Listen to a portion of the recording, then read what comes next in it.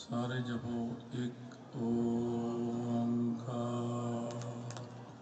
सतनाम करता पुरख निर्भाव।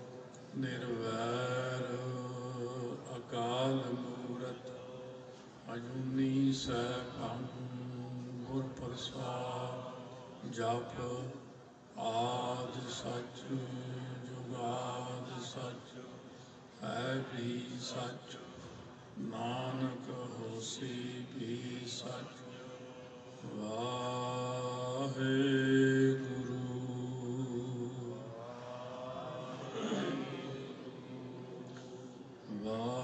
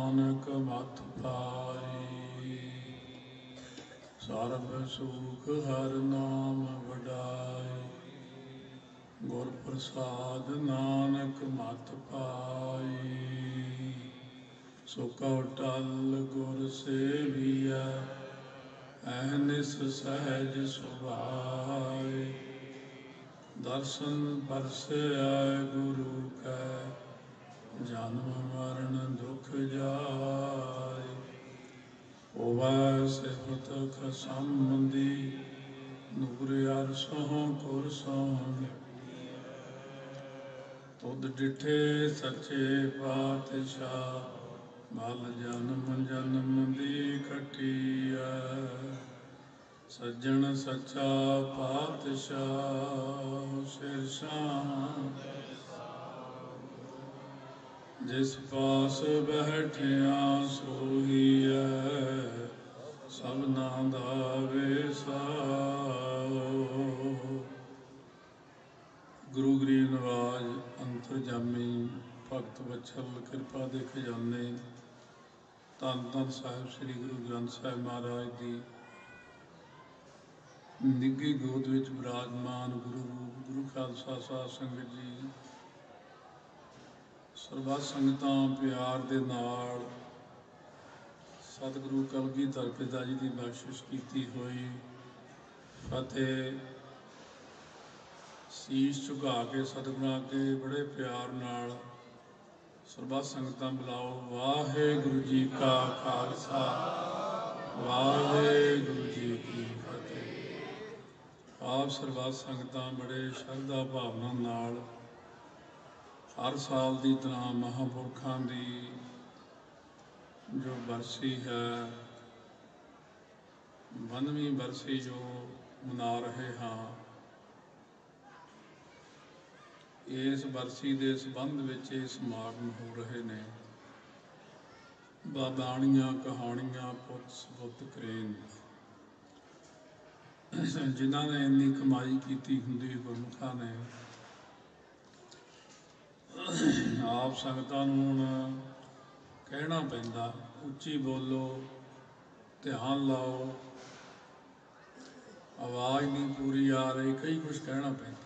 ਪੰਜ ਮੂਲ ਮੰਤਰ ਕਰਾਉਣ ਵਿੱਚ ਹੀ ਬਹੁਤ ਵਡਿਆਈ ਹੋਈ ਪੰਜ ਵਾਰੀ 10 ਵਾਰੀ ਵਾਹਿਗੁਰੂ ਕਹਿਣਾ ਵੀ ਔਖਾ ਲੱਗਦਾ, ਕਿਤੇ ਅਰਦਾਸ ਵਿੱਚ ਖੜਨਾ ਵੀ ਔਖਾ ਲੱਗਦਾ, ਇੱਕ ਜਪਜੀ ਸਾਹਿਬ ਕਰਨਾ ਵੀ ਔਖਾ ਲੱਗਦਾ। ਤਾਂ ਹੀ ਸਤਿਗੁਰੂ ਮਹਾਰਾਜ ਨੇ ਬਚਨ ਕੀਤਾ ਹੈ ਕਿ ਸੰਤ ਕਾ ਮਾਰਗ, ਧਰਮ ਕੀ ਪੌੜੀ, ਕੋ ਵਡ ਭਾਗੀ ਪਾਏ।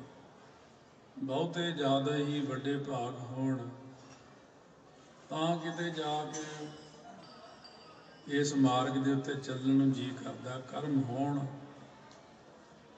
ਵਾਹਿਗੁਰੂ, ਅਕਾਲ ਪੁਰਖ, ਪਰਮੇਸ਼ਰ ਨਿਰੰਕਾਰ ਜੀ ਦੀ ਪੂਰਨ ਕਿਰਪਾ ਹੋਵੇ। ਪੂਰੀ ਕਿਰਪਾ ਹੋਣ ਦੇ ਨਾਲ ਨਾਲ ਬੰਦਗੀ ਹੋਣ ਦੇ ਨਾਲ ਨਾਲ ਭਗਤੀ ਪਾਠ ਪੂਜਾ ਸੇਵਾ ਹੋਣ ਦੇ ਨਾਲ ਨਾਲ ਕੁਝ ਮੰਗੇ ਵੀ ਨਾ ਤੇ ਰਜਾ ਵਿੱਚ ਰਾਜੀ ਵੀ ਰਹੇ। ਫੇਰ ਜਾ ਕੇ ਨਿਰਛਿਤ ਭਗਤੀ ਹੋਵੇ, ਪ੍ਰੇਮਾ ਭਗਤੀ ਹੋਵੇ, ਭਾਵੋ ਪ੍ਰੇਮ ਜਿਹੜਾ ਹੈ ਸਭ ਤੋਂ ਵੱਡੀ ਭਗਤੀ ਹੈ ਪ੍ਰੇਮਾ। ਨੌ ਪ੍ਰਕਾਰ ਦੀ ਭਗਤੀ ਹੈ। ਇਹਦੇ ਵਿੱਚੋਂ ਸਭ ਤੋਂ ਉੱਚੀ ਭਗਤੀ ਹੁੰਦੀ ਭਾਵਨਾ ਰੱਖ ਕਿਉਂਕਿ ਆਪਾਂ ਸਾਰੇ ਜਾਣੇ ਬੈਠੇ ਗੁਰਸਿੱਖ, ਕੀਰਤਨ ਕਰਨ ਵਾਲੇ ਵੀ, ਕਥਾ ਕਰਨ ਵਾਲੇ ਵੀ, ਢਾਡੀ ਰਾਗੀ ਵੀ, ਸੇਵਾ ਕਰਨ ਵਾਲੇ ਲੰਗਰਾਂ ਵਿੱਚ, ਸੰਗਤ ਸੁਣਨ ਵਾਲੀ ਵੀ, ਜਿੰਨਾ ਵੀ ਗੁਰਸਿੱਖ ਮਾਈ ਪਾਈ ਕਿਤੇ ਵੀ ਸੰਸਾਰ ਭਰ ਵਿੱਚ ਬੈਠਾ ਹੈ ਜਦੋਂ ਇਹਨਾਂ ਦੀ ਕੀਤੀ ਹੋਈ ਕੋਈ ਵੀ ਚੀਜ਼, ਕੋਈ ਕਰਮ ਹੈ, ਉਹਦੇ ਵਿੱਚ ਸਤਿਗੁਰੂ ਕੀ ਦੇਖਦੇ ਕਿਸੇ ਦੀ ਆਵਾਜ਼ ਬੜੀ ਸੋਹਣੀ ਹੈ ਜਾਂ ਕਿਸੇ ਨੂੰ ਬਹੁਤ ਹੀ ਗਿਆਨ ਦੀਆਂ ਗੱਲਾਂ ਆਉਂਦੀਆਂ ਨੇ। ਕਿਸੇ ਦਾ ਸੁਰ ਤਾਲ ਬੜਾ ਵਧੀਆ। ਕੋਈ ਲੰਗਰ ਵਿੱਚ ਬੜੀ ਸੇਵਾ ਕਰਦਾ। ਕੋਈ ਪੈਸੇ ਦੀ ਬੜੀ ਸੇਵਾ ਕਰਦਾ। ਕਿਸੇ ਨੇ ਬੜੀਆਂ ਸੇਵਾਵਾਂ ਕੀਤੀਆਂ, ਬਿਲਡਿੰਗਾਂ ਬਣਾਈਆਂ ਸਭ ਕੁਝ ਕਰਨ ਦੇ ਬਾਵਜੂਦ ਵੀ ਸਫਲਤਾ ਨਹੀਂ ਹੈ, ਉਹ ਪ੍ਰਵਾਨ ਹੀ ਨਹੀਂ ਹੈ ਉੱਥੇ। ਇਹ ਮਨ ਦੇ ਅੰਦਰ ਆਪਾਂ ਗੱਲ ਲਿਆਈਏ ਵੀ ਜੇ ਮੇਰਾ ਕੀਤਾ ਹੋਇਆ ਪ੍ਰਵਾਨ ਨਾ ਹੋਇਆ, ਸਫਲਾ ਨਾ ਹੋਇਆ, ਲਾਭ ਕੀ ਇਸ ਕਰਕੇ ਜਿਹੜਾ ਕੋਈ ਵੀ ਕਰਮ ਹੈ ਜਿਹੜਾ ਉੱਥੇ ਪ੍ਰਵਾਨ ਹੁੰਦਾ ਦਰਗਾਹ ਦੇ ਵਿੱਚ, ਸੱਚਖੰਡ ਦੇ ਵਿੱਚ, ਸਤਿਗੁਰਾਂ ਨੂੰ, ਉਹ ਭਾਵਨਾ ਵਿੱਚ ਹੁੰਦਾ ਭਾਵਨਾ ਦੇ ਨਾਲ ਜੇ ਕੋਈ ਕਰਮ ਕਰਦਾ ਹੈ, ਸੇਵਾ ਕਰਦਾ ਹੈ, ਕੀਰਤਨ ਕਥਾ ਕਰਦਾ ਹੈ, ਬਾਣੀ ਪੜ੍ਹਦਾ, ਭਾਵਨਾ ਵਿੱਚ ਆ ਕੇ, ਤਾਂ ਉਹਦਾ ਕੀਤਾ ਹੋਇਆ ਕਰਮ ਜਿਹੜਾ ਸਤਿਗੁਰੂ ਮਹਾਰਾਜ ਜੀ ਪ੍ਰਵਾਨ ਕਰਦੇ ਨੇ। ਜਦ ਤੱਕ ਭਾਵਨਾ ਹੀ ਨਹੀਂ ਆਉਂਦੀ ਭਾਵਨਾ ਵਾਲੇ ਨੂੰ ਆਪਾਂ ਪਛਾਣ ਲੈਨੇ ਕਿ ਭਾਵਨਾ ਨਾਲ ਬੋਲ ਰਿਹਾ ਪੜ ਰਿਹਾ, ਜੁੜ ਕੇ ਪੜ ਰਿਹਾ, ਇੱਕ ਮਨ ਹੋ ਕੇ ਬੋਲ ਰਿਹਾ। ਸੋ ਇਸ ਕਰਕੇ ਜਦੋਂ ਆਪਾਂ ਕੋਈ ਵੀ ਚੀਜ਼ ਪੜ੍ਹਦੇ ਹਾਂ, ਪਾਠ ਕਰਦੇ ਹਾਂ, ਐਸਾ ਮਨ ਜੁੜ ਜਾਂਦਾ, ਐਸਾ ਮਨ ਜੁੜ ਜਾਂਦਾ। ਜੁੜਨਾ ਵੀ ਦੇਖੋ ਕੀ ਹੈ। ਹੁਣ ਕਈ ਕਹਿੰਦੇ ਵੀ ਬੜਾ ਜੁੜ ਕੇ ਬੈਠਾ।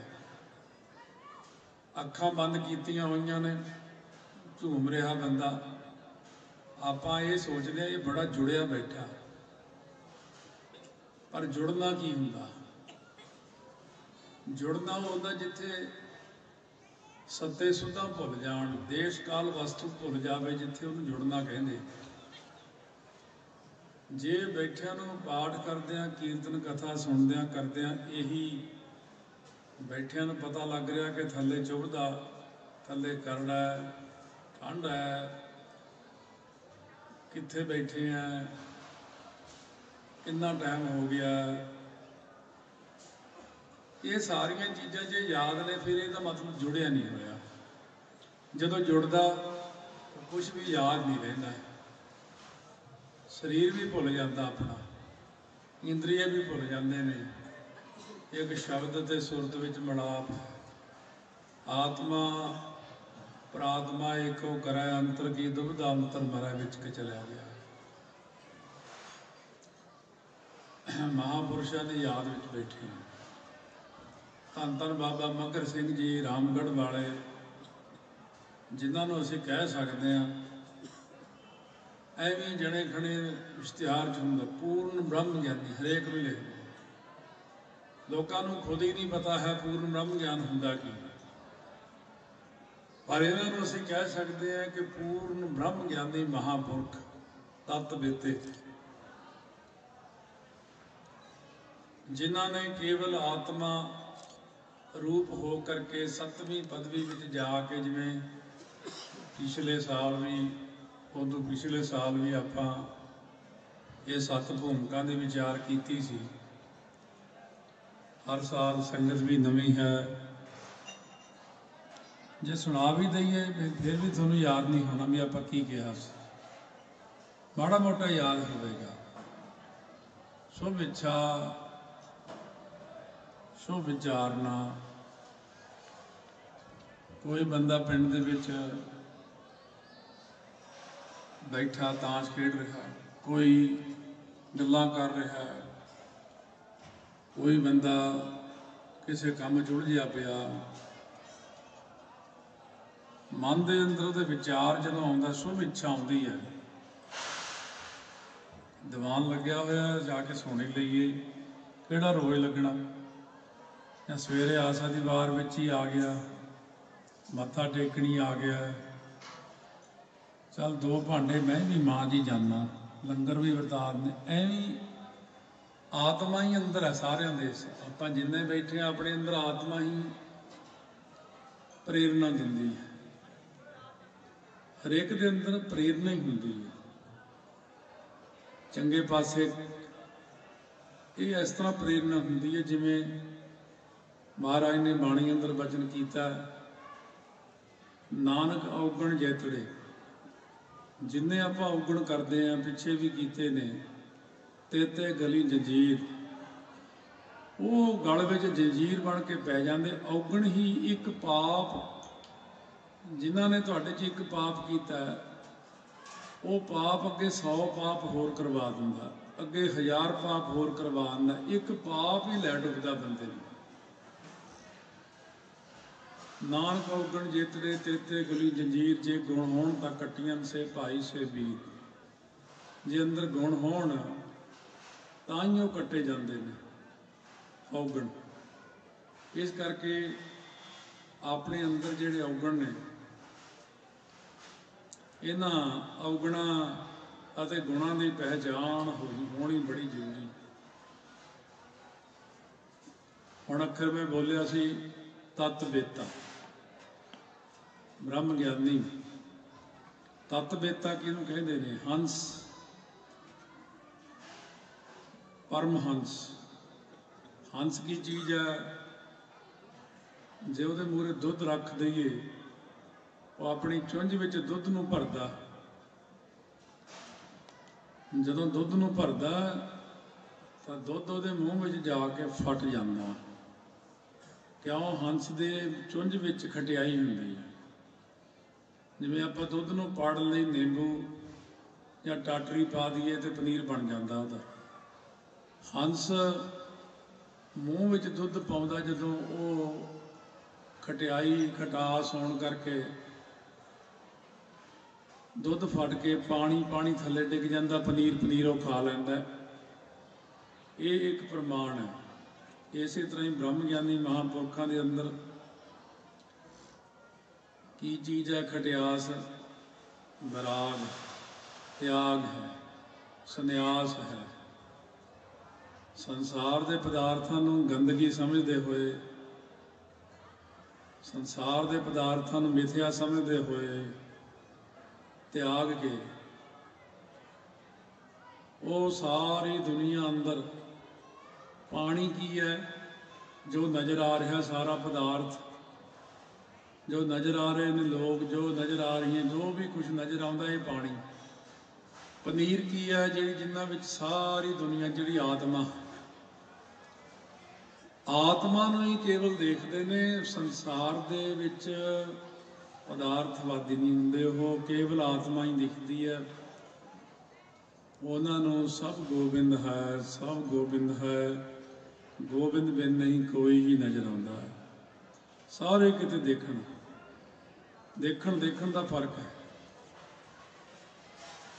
ਹੁਣ ਕੋਈ ਉਰੇ ਆਉਂਦਾ ਆਪਣੀ ਆਪਣੀ ਨਿਗਾਹ ਕੋਈ ਕਹਿੰਦਾ ਉਹ ਸਾਡੇ ਪਿੰਡ ਦਾ ਬੈਠਾ।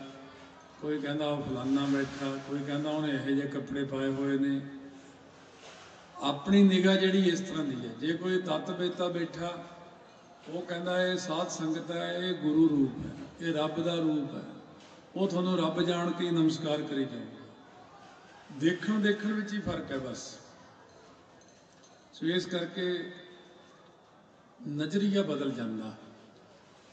ਜਿਵੇਂ ਕੋਈ ਬਹੁਤ ਵੱਡਾ ਆਫੀਸਰ ਸੀ ਉਹਨੇ, ਜਦੋਂ ਕਥਾ ਸੁਣੀ ਤਾਂ ਫੋਨ ਕੀਤਾ ਮੈਨੂੰ।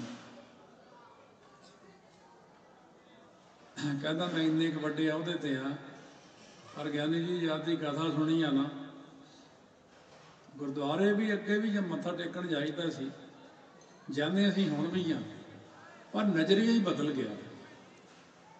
ਹੁਣ ਮੱਥਾ ਟੇਕਣ ਦਾ ਆਨੰਦ ਹੋਰ ਹੈ ਪਹਿਲਾਂ ਹੋਰ ਸੀ, ਪਹਿਲਾਂ ਤਾਂ ਐਵੇਂ ਜਾਈਦਾ ਸੀ। ਵੀ ਚੱਲ ਡਿਊਟੀ ਤੋਂ ਪਹਿਲਾਂ ਫਾਰਮੈਲਿਟੀ ਕਰ ਲਈ ਆਪਣੀ। ਗੋਲ 'ਚ ਪੈਸੇ ਪਾਏ, ਅੰਦਰ ਗਏ, ਖੱਬਾ ਸੱਜਾ ਦੇਖਿਆ, ਦੇਖ ਲਈ, ਬਾਹਰ ਆ ਗਏ। ਪਹਿਲਾਂ ਕਹਿੰਦੇ ਸੀ ਸਤਿਗੁਰ ਨੂੰ ਮੱਥਾ ਨਹੀਂ ਸੀ ਟੇਕਦੇ। ਵੈਸੇ ਹੀ ਜਾਂਦੇ ਹੁੰਦੇ ਸੀ, ਚੱਲ ਲੋਕ ਜਾਂਦੇ, ਆਪਾਂ ਵੀ ਜਾਵਾਂ ਤਾਂ ਨੌਕਰੀ ਠੀਕ ਰਹੇ। ਕਹਿੰਦੇ, ਹੁਣ ਮੈਂ ਸਤਿਗੁਰਾਂ ਕੋਲ ਜਾਂਦਾ ਹੁਣ ਮੈਂ ਬੈਠਦਾ ਵੀ ਚੌਰ ਸਾਹਿਬ ਵੀ ਕਰਦਾ। ਹੁਣ ਮੈਂ ਪਾਠ ਵੀ ਜਦੋਂ ਕਰਦਾ, ਮੇਰੀ ਭਾਵਨਾ ਬਦਲ ਗਈ। ਹੁਣ ਪਾਠ ਕਰਦਿਆਂ ਵੀ ਮੇਰੀ ਭਾਵਨਾ ਹੋ ਗਈ। ਸੋ ਸਾਧ ਸੰਗਤ, ਚੌਥੇ ਪਾਤਸ਼ਾਹ ਵੇਲੇ ਆਹੀ ਮਹੀਨਾ, ਉਹ ਦਾ ਲਾ ਲਓ ਮਹੀਨਾ, ਉਹ ਮਾਘ ਬਹੁਤ ਉਦੋਂ ਠੰਡ ਪੈਂਦੀ ਹੁੰਦੀ ਸੀ। ਕੋਰਾ ਧੁੰਦ, ਠੰਡ, ਬਰਸਾਤ ਥੋੜੀ ਥੋੜੀ ਬਰਸਾਤ ਹੋਈ, ਸੰਗਤ ਸ੍ਰੀ ਗੋਇੰਦਵਾਲ ਸਾਹਿਬ ਤੋਂ ਆਈ। ਮਹਾਰਾਜ ਜੀ ਮਹਿਲਾਂ ਦੇ ਉੱਪਰ ਖੜ ਕੇ ਸੰਗਤ ਸਾਰੀ ਦਾ ਇੰਤਜ਼ਾਮ ਦੇਖ ਰਹੇ ਸੀ ਅੰਮ੍ਰਿਤ ਵੇਲੇ। ਇਸ਼ਨਾਨ ਕੀਤਾ। ਦੇਖਿਆ ਕਿ ਸੰਗਤ ਦੇ ਜਿਹੜੇ ਤੰਬੂ ਨੇ, ਉਹਨਾਂ ਦੇ ਅੱਗੇ ਹੁਣ ਤਾਂ ਲੋਕ ਕਮਰਿਆਂ ਨੂੰ ਰੋਂਦੇ, ਉੱਥੇ ਕਮਰਾ ਨਹੀਂ ਮਿਲਦਾ। ਪਹਿਲਾਂ ਤੰਬੂ ਲਾ ਕੇ ਹੀ ਰਹਿੰਦੇ ਹੁੰਦੇ ਸੀ। ਉਸ ਵਕਤ ਮਹਾਰਾਜ ਜੀ ਕਹਿੰਦੇ ਉਹ ਸਾਰਿਆਂ ਦੇ ਤੰਬੂਆਂ ਦੇ ਅੱਗੇ ਅੱਗ ਬਾਲ ਰਹੀ ਹੈ। ਲੋਕ, ਸੰਗਤ ਸੇਕ ਰਹੀ ਹੈ, ਨਿੱਘ ਮਾਣ ਰਹੀ ਹੈ। ਇਹ ਕਿਹਨੇ ਸੇਵਾ ਕੀਤੀ ਲੱਕੜਾਂ ਦੀ? ਕਹਿੰਦੇ ਮਹਾਰਾਜ ਜੀ, ਇਹ ਕੋਈ ਭਾਈ ਆਦਮ ਹੈ, ਨਾਮ ਉਸਦਾ। ਉਹਨ ਸੇਵਾ ਕੀਤੀ ਹੈ? ਉਹ ਜਦ ਲੰਗਰ ਵਿੱਚ ਲੱਕੜਾਂ ਪਾਉਂਦਾ ਸੀ, ਇੱਕ ਗੱਠੜ ਜਿਹਾ ਉਹ ਜਮਾ ਕਰੀ ਗਿਆ ਤੇ ਇੱਕ ਗੱਠੜ ਲੰਗਰ ਚ ਪਾ ਦਿੰਦਾ ਸੀ। ਇੱਕ ਢੇਰੀ ਜੀ ਲਿਆ ਕੇ, ਇੱਕ ਪੰਡ ਕਹਿ ਲੋ ਹੁਣ ਅੱਜ ਜਦੋਂ ਸੰਗਤ ਨੂੰ ਬਹੁਤ ਠੰਡ ਲੱਗ ਰਹੀ ਸੀ, ਤਾਂ ਆਪ ਜੀ ਨੇ ਕਿਹਾ ਸੀ ਕਿ ਜੇ ਸੰਗਤ ਦੀ ਕੋਈ ਸੇਵਾ ਕਰੇ ਤਾਂ ਸਾਡੀ ਖੁਸ਼ੀ ਹੁੰਦੀ ਹੈ। ਮਹਾਰਾਜ ਜੀ, ਆਪ ਦੀਆਂ ਖੁਸ਼ੀਆਂ ਲੈਣ ਵਾਸਤੇ ਉਹਨੇ ਸਾਰਿਆਂ ਤੰਬੂਆਂ ਦੇ ਅੱਗੇ ਅੱਗ ਬਾਲ ਦਿੱਤੀ ਤੇ ਸਾਰੀ ਸੰਗਤ ਸੇਕ ਰਹੀ। ਮਹਾਰਾਜ ਕਹਿੰਦੇ ਇਹਨਾਂ ਨੂੰ, ਭਾਈ ਸੁਨੇਹਾ ਦਿਓ ਜਦ ਦੀਵਾਨ ਲੱਗੇ ਸਾਡੇ ਕੋਲ ਆਉਣ। ਜਦ ਦੀਵਾਨ ਲੱਗਿਆ ਸੁਨੇਹਾ ਮਿਲਿਆ, ਪਹੁੰਚ ਗਏ ਪਤੀ ਪਤਨੀ। ਨਮਸਕਾਰ ਕੀਤੀ, ਉਮਰ ਵੀ ਬਹੁਤ ਹੋ ਚੁੱਕੀ ਹੈ 50 ਤੋਂ ਉੱਤੇ ਟੱਪ ਗਏ 60 ਸਾਲ ਦੇ ਨੇੜੇ। ਮਹਾਰਾਜ ਜੀ ਕਹਿੰਦੇ, ਭਾਈ ਆਦਮ, ਜਿਹੜੀ ਭਾਵਨਾ ਨਾਲ ਸੇਵਾ ਕੀਤੀ ਹੈ, ਸ਼ਰਧਾ ਨਾਲ ਸੇਵਾ ਕੀਤੀ ਹੈ, ਸੰਗਤ ਨੂੰ ਗੁਰੂ ਰੂਪ ਜਾਣਿਆ ਪਰਮੇਸ਼ਰ ਰੂਪ ਜਾਣ ਕੇ ਸੇਵਾ ਕੀਤੀ ਹੈ, ਅਸੀਂ ਬਹੁਤ ਪ੍ਰਸੰਨ ਹਾਂ। ਹੁਣ ਤੂੰ ਐਂ ਕਰ, ਮੰਗ ਕੀ ਮੰਗਦਾ ਸਾਡੇ ਪਾਸੇ? ਮਹਾਰਾਜ ਜੀ, ਸਭ ਕੁਝ ਤੁਹਾਡਾ ਦਿੱਤਾ ਹੋਇਆ ਬਖਸ਼ਿਸ਼ ਹੈ। ਕੋਈ ਇੱਛਾ ਨਹੀਂ। ਫੇਰ ਬਚਨ ਹੋਇਆ, ਮਹਾਰਾਜ ਜੀ, ਕੋਈ ਲੋੜ ਨਹੀਂ। ਸਭ ਕੁਝ ਹੈਗਾ। ਅੰਦਰ ਤਾਂ ਸੀ ਵੀ ਪੁੱਤਰ ਹੈ ਨਹੀਂ, ਮੰਗ ਲਈਏ, ਪਰ ਉਮਰ ਦੇਖ ਕੇ, ਚਿੱਟੀ ਦਾੜੀ ਦੇਖ ਕੇ ਸ਼ਰਮ ਜੀ ਆਉਂਦੀ ਜੀ ਮੰਗਦੇ ਆ ਕਿ ਕੀ ਕਹਿਣਗੇ ਲੋਕ? ਮਹਾਰਾਜ ਜਾਣੀ ਜਾਣ ਸੀ, ਕਹਿੰਦੇ ਦੋ ਵਚਨ ਹੋ ਗਏ, ਕੋਈ ਨਹੀਂ।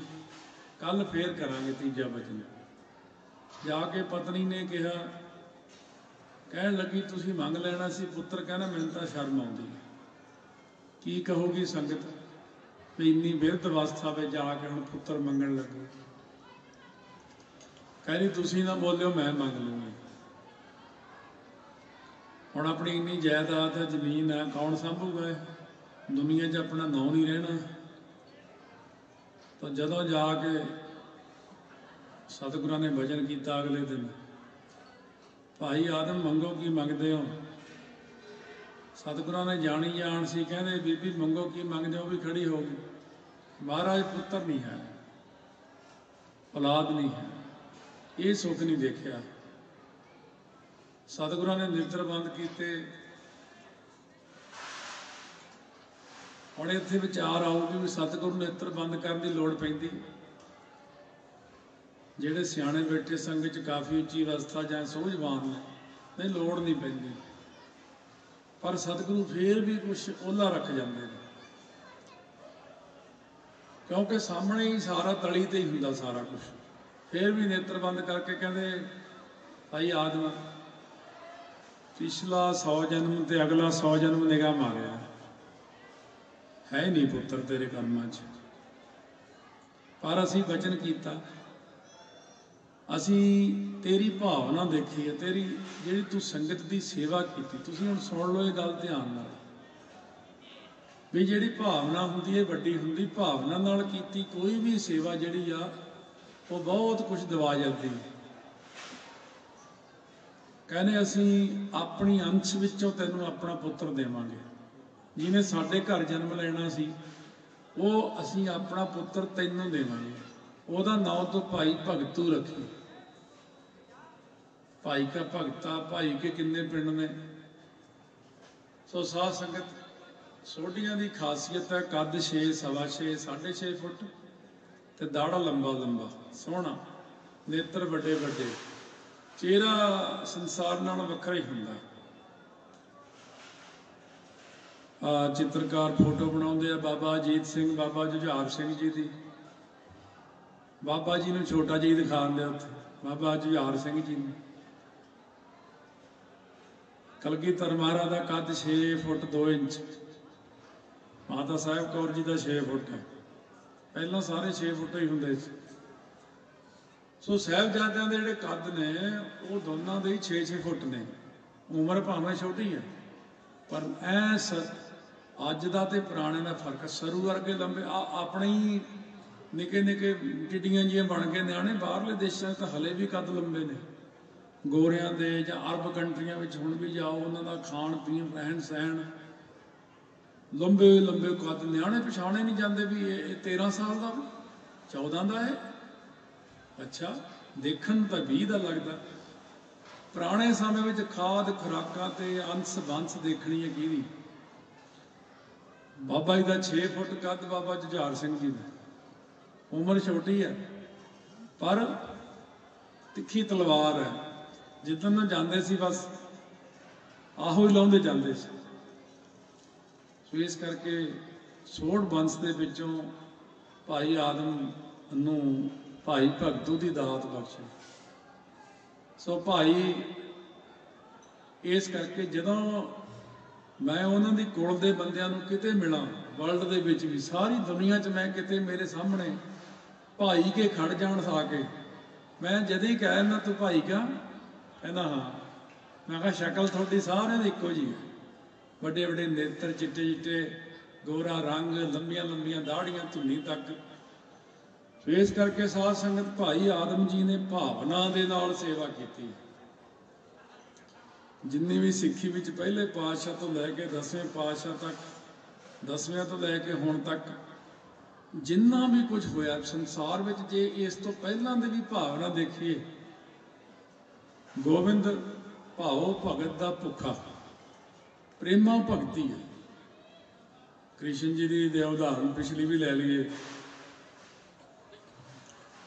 ਤਾਂ ਦੇਖ ਲਓ ਬੇਦਰ ਦੇ ਘਰ ਗਏ ਨੇ। ਇਹ ਨਹੀਂ ਸੀ ਕਿ ਪਹਿਲਾਂ ਭਗਤ ਨਹੀਂ ਹੋਏ, ਪਹਿਲਾਂ ਭਾਵਨਾ ਨਹੀਂ ਹੋਈ। ਸਾਗ ਦੇ ਵਿੱਚ ਲੂਣ ਹੀ ਨਹੀਂ ਪਾਇਆ। ਲੂਣਾ ਹੀ ਸਾਗ ਰੱਖਤਾ। ਲੂਣ ਹੈ ਨਹੀਂ ਕਿ ਜੀ ਖਾਈ ਜਾਂਦੇ ਨੇ, ਬੜਾ ਸਵਾਦ, ਬਹੁਤ ਹੀ ਸਵਾਦ, ਬਹੁਤ ਹੀ ਸਵਾਦ। ਉਹ ਤਾਂ ਜਦੋਂ ਆਪ ਖਾਦਾ ਬਾਅਦ ਚ ਫੇਰ ਪਤਾ ਲੱਗਿਆ ਵੀ ਲੂਣ ਹੀ ਨਹੀਂ ਪਾਇਆ। ਕੇਲਾ ਛਿੱਲ ਕੇ ਛਿਲਕਾ ਹੀ ਫੜਾਤਾ। ਉਹ ਖੇ- ਛਿਲਕਾ ਹੀ ਖਾ ਖਾ ਕਹੀ ਜਾਂਦੇ, ਬੜਾ ਸਵਾਦ ਹੈ। ਕੇਲਾ ਸਿੱਟ ਦਿੱਤਾ। ਸਾਧ ਸੰਗਤ ਧੰਨ ਗੁਰੂ ਤੇਗ ਬਹਾਦਰ ਸਾਹਿਬ ਦਾ ਪਰਸੋਂ ਨੂੰ ਸ਼ਹੀਦੀ ਦਿਨ ਉਹਨਾਂ ਸਮਿਆਂ ਦੇ ਦਿਨ ਜਿਹੜੇ ਬਣਦੇ 13 ਮੱਘਰ ਮੱਘਰ ਸੁਦੀ ਪੰਚਮੀ 1732 ਵਿੱਚ ਵੀਰਵਾਰ ਦੇ ਦਿਨ ਸਤਿਗੁਰਾਂ ਨੇ ਸ਼ਹੀਦੀ ਪਾਈ। ਜਦ ਸਤਿਗੁਰੂ ਮਹਾਰਾਜ ਸੱਚੇ ਪਾਤਸ਼ਾਹ ਨੂੰ ਸੰਗਤਾਂ ਨੇ ਬਹੁਤ ਰਜੋਈਆਂ ਕੀਤੀਆਂ, ਘਰਾਂ 'ਚ ਬੈਠੇ ਮਹਾਰਾਜ ਪ੍ਰਸ਼ਾਦਾ, ਇੱਕ ਸਿੱਖ ਨੇ ਪ੍ਰਸ਼ਾਦਾ ਤਿਆਰ ਕੀਤਾ। ਬੈਠ ਕੇ ਧੰਨੇ ਭਗਤਾਂ ਨੂੰ ਕਹਿੰਦਾ, ਜੇ ਛਕੋਗੇ ਆ ਕੇ ਤਾਂ ਛਕਾਂਗਾ। ਨਹੀਂ ਛਕਿਆ। ਉਹ ਪ੍ਰਸ਼ਾਦਾ ਉਹਨੇ ਸੁੱਟ ਦਿੱਤਾ। ਫਿਰ ਹੋਰ ਤਿਆਰ ਕਰਕੇ ਫੇਰ ਬਹਿ ਗਿਆ। ਮਹਾਰਾਜ ਜੀ ਕਹਿੰਦੇ, ਹੁਣ ਜਾਣਾ ਹੀ ਪੈਣਾ। ਸਤਿਗੁਰੂ ਮਹਾਰਾਜ, ਸੱਚੇ ਪਾਤਸ਼ਾਹ, ਗੁਰੂ ਤੇਗ ਬਹਾਦਰ ਸਾਹਿਬ ਜੀ ਮਹਾਰਾਜ, ਭਾਈ ਮਤੀਦਾਸ ਜੀ ਭਾਈ ਦਿਆਲਦਾਸ ਜੀ, ਭਾਈ ਸਤੀ ਰਾਮ ਜੀ, ਭਾਈ ਉਦਾ ਜੀ, ਭਾਈ ਗੁਰਦਿੱਤਾ ਜੀ, ਭਾਈ ਜੈਤਾ ਜੀ, ਸਾਰੇ ਜਾਣੇ ਇਕੱਠੇ ਪ੍ਰਸ਼ਾਦਾ ਛਕਣ, ਸਤਿਗੁਰਾਂ ਨੇ ਨੇਤਰ ਬੰਦ ਕੀਤੇ। ਅੰਦਰ ਬੈਠੇ ਬੇਸ਼ੱਕ ਜੇਲ੍ਹ ਦੇ ਵਿੱਚ। ਸਮੇਤ ਸਿੱਖਾਂ ਦੇ ਪ੍ਰਗਟ ਹੋ ਗਏ। ਉਹ ਸਿੱਖ ਨੂੰ ਇੰਨੀ ਖੁਸ਼ੀ ਹੋਈ, ਪੀੜੀ ਪੁੱਠੀ ਉਡਾਤੀ ਤੇ ਪੁੱਠੀ ਪੀੜੀ ਦੇ ਉੱਤੇ ਸਫ ਵਿਛਾਤੀ ਸਤਿਗੁਰੂ ਜੀ ਆਪਣੀ ਕਲਾ ਨਾਲ ਹੀ ਆ ਕੇ ਉੱਪਰ ਬੈਠ ਗਏ ਨਹੀਂ ਤਾਂ ਥੱਲੇ ਧਸ ਜਾਂਦੀ ਸਾਰੀ ਉਹ, ਤਕਲੀਫ ਹੁੰਦੀ। ਉਹਨਾਂ ਨੇ ਪਤਨੀ ਸਿੱਖ ਦੀ ਜਿਹੜੀ ਸੀ, ਇੰਨੀ ਭਾਵਨਾ ਵਿੱਚ ਭਿੱਜ ਗਈ ਉਹ, ਵੀ ਉਹਨੇ ਖੀਰ ਦੇ ਵਿੱਚ ਪੀਸਿਆ ਹੋਇਆ ਲੂਣ ਹੀ ਬਰੂਰਤ ਹੈ ਕਹਿੰਦੇ ਮਿੱਠੇ ਦੀ ਥਾਂ ਤੇ। ਪੰਜੇ ਸਿੱਖਾਂ ਨੂੰ, ਛਿਆਂ ਨੂੰ ਲੂਣ ਹੀ, ਸਤਿਗੁਰਾਂ ਨੂੰ ਵੀ। ਸਤਿਗੁਰੂ ਕਹਿੰਦੇ, ਆਹਾ, ਬਹੁਤ ਹੀ ਸਵਾਦ ਹੈ, ਬਹੁਤ ਹੀ ਸਵਾਦ। ਸਤਿਗੁਰੂ ਮਹਾਰਾਜ ਸੱਚੇ ਪਾਤਸ਼ਾਹ ਕਹਿਣ ਲੱਗੇ, ਬਾਨਾ ਹੀ ਸੀ ਉਹਨਾਂ ਦਾ। ਕਹਿੰਦੇ, ਅਸੀਂ ਛੋਟੀ ਕਿਰਿਆ ਕਰਨੀ ਹੈ, ਲਘੂ ਸ਼ੰਕਾ ਜਾਣਾ ਉੱਠ ਕੇ ਗਏ, ਸਿੱਖਾਂ ਨੇ ਆਉਂਦਿਆਂ ਸਾਰ ਪੀੜੀ ਸਿੱਧੀ ਕਰਕੇ ਉੱਤੇ ਚਟਾਈ ਵਿਛਾਤੀ, ਚੌਂਕੀ। ਤੇ ਉਹ ਇੱਕ ਸਿਆਣੀ ਬੀਬੀ ਸੀ ਨੇ ਫਟਾਫਟ ਖੀਰ ਸਾਰੀ ਚੱਕ ਕੇ ਦੂਜੀ ਖੀਰ ਪਾਈ ਉਹ 'ਚ ਮਿੱਠਾ ਪਾਇਆ। ਮਹਾਰਾਜ ਜੀ ਕਹਿੰਦੇ ਉਹ ਭਾਵਨਾ ਵਾਲੀ ਪੀੜ੍ਹੀ ਜ਼ਿਆਦਾ ਵਧੀਆ ਸੀ। ਇਹ ਤਾਂ ਸਿੱਧੀ ਹੀ ਕਰਦੀ ਤੁਸੀਂ। ਕਹਿੰਦੇ ਉਹ ਭਾਵਨਾ ਵਾਲੀ ਖੀਰ ਬਹੁਤ ਸਵਾਦ ਸੀ। ਇਹ 'ਚ ਤਾਂ ਮਿੱਠਾ ਪਾਇਆ ਨਾ, ਇਹ ਉਨੀ ਸਵਾਦ ਨਹੀਂ ਹੈਗੀ। ਜਿਹ 'ਚ ਲੂਣ ਪਾਇਆ ਸੀ, ਪ੍ਰੇਮ ਨਾਲ ਉਹ ਜ਼ਿਆਦਾ ਸਵਾਦ ਸੀ। ਤੁਸੀਂ ਸਮਝੋ ਇਸ ਗੱਲ ਨੂੰ ਵੀ ਸਤਿਗੁਰੂ ਸੱਚੇ ਪਾਤਸ਼ਾਹ ਕਿਹੜੀ ਗੱਲ ਤੇ ਖੁਸ਼ ਹੁੰਦੇ? ਭਾਵਨਾ ਤੇ ਸਤਿਗੁਰੂ ਖੁਸ਼ ਹੁੰਦੇ ਆ। ਭਾਵਨਾ। ਜਦੋਂ ਨੌਵੇਂ ਪਾਤਸ਼ਾਹ ਮਹਾਰਾਜ ਜੀ ਦੇਖੋ ਕਿੱਥੇ ਮਾਈ, ਉਹਦਾ ਨਾਮ ਅਸਲ ਸੀ ਭਾਗੋ ਭਾਗੋ, ਕਹਿੰਦੇ ਸੀ ਮਾਈ ਨੂੰ ਭਾਗ ਭਰੀ ਪੂਰਾ ਨਾਮ। ਪੰਜਵੇਂ ਪਾਤਸ਼ਾਹ ਦੀ ਸ਼ਰਧਾਲੂ ਸੀ। ਪੰਜਵੇਂ ਪਾਤਸ਼ਾਹ ਮਹਾਰਾਜ, ਛੇਵੇਂ ਪਾਤਸ਼ਾਹ ਮਹਾਰਾਜ, ਸੱਤਵੇਂ, ਅੱਠਵੇਂ ਤੱਕ, ਨੌਵੇਂ ਸਰੂਪ ਤੱਕ ਬਹੁਤ ਬਿਰਧ ਹੋ ਚੁੱਕੇ ਸੀ। ਆਗਰੇ ਬੈਠੀ ਬਰੀਕ ਤੰਦਾਂ ਦਾ ਉਹਨੇ ਖੱਦਰ ਦਾ ਪੋਸ਼ਾਕਾ ਤਿਆਰ ਕੀਤਾ ਸਤਿਗੁਰਾਂ ਦਾ। ਮਹਾਰਾਜ ਜੀ ਆਉਣਗੇ, ਫਾਉਣਗੇ ਆਉਣਗੇ, ਫਾਉਣਗੇ। ਸਤਿਗੁਰੂ ਮਹਾਰਾਜ ਸੱਚੇ ਪਾਤਸ਼ਾਹ ਦੇ ਘਰ ਜਾ ਕੇ ਪੋਸ਼ਾਕਾ ਪਹਿਨਦੇ ਹੁੰਦੇ ਹਾਲਾਂਕਿ ਦੇਖਿਆ ਜਾਏ ਖੱਦਰ ਕੋਈ ਖਾਸ ਚੀਜ਼ ਨਹੀਂ ਹੈ। ਪਰ ਵਿਚਲੀ ਚੀਜ਼ ਕੀ ਆ? ਭਾਵਨਾ। ਇਸੇ ਪ੍ਰਕਾਰ ਸਾਧ ਸੰਗਤ, ਸਮਝਣ ਦੀ ਗੱਲ ਕਰੋ। ਮੱਥਾ ਟੇਕਣ ਆਉਂਦੇ ਹੋ? ਟੇਕਣਾ ਤਾਂ ਹੈ ਹੀ ਆ। ਭਾਵਨਾ ਨਾਲ ਟੇਕ ਲਓ। ਜੇ ਭਾਵਨਾ ਨਾਲ ਮੱਥਾ ਟੇਕ ਲਓਗੇ ਤਾਂ ਕਿਰਪਾ ਹੋ ਜਾਊਗੀ। ਅਣਭਾਵਨਾ ਜੀ ਵੱਖਰੀ ਚੀਜ਼ ਜਿਵੇਂ ਉਹ ਬੰਦੇ ਨੇ ਕਿਹਾ ਵੀ ਮੇਰਾ ਨਜ਼ਰੀਆ ਹੀ ਬਦਲ ਗਿਆ ਮੱਥਾ ਟੇਕਣ ਦਾ। ਛੇਵੇਂ ਪਾਤਸ਼ਾਹ ਨੇ ਜਿਵੇਂ ਬਾਬਾ ਗੁਰਦਿੱਤਾ ਜੀ ਨੂੰ ਵਚਨ ਕੀਤਾ ਸੀ, ਲਓ ਬੇਟਾ ਜੀ, ਇਹ ਸਰੂਪ ਪ੍ਰਕਾਸ਼ ਕਰਨਾ। ਜਦੋਂ ਮਾਰ ਬਾਬਾ ਗੁਰਦਿੱਤਾ ਜੀ ਨੂੰ ਕਿਹਾ, ਗੁਰਕੀਰਤਪੁਰ ਸਾਹਿਬ ਨਗਰ ਬਸਾਉਣਾ, ਸਰੂਪ ਪ੍ਰਕਾਸ਼ ਕਰਨਾ।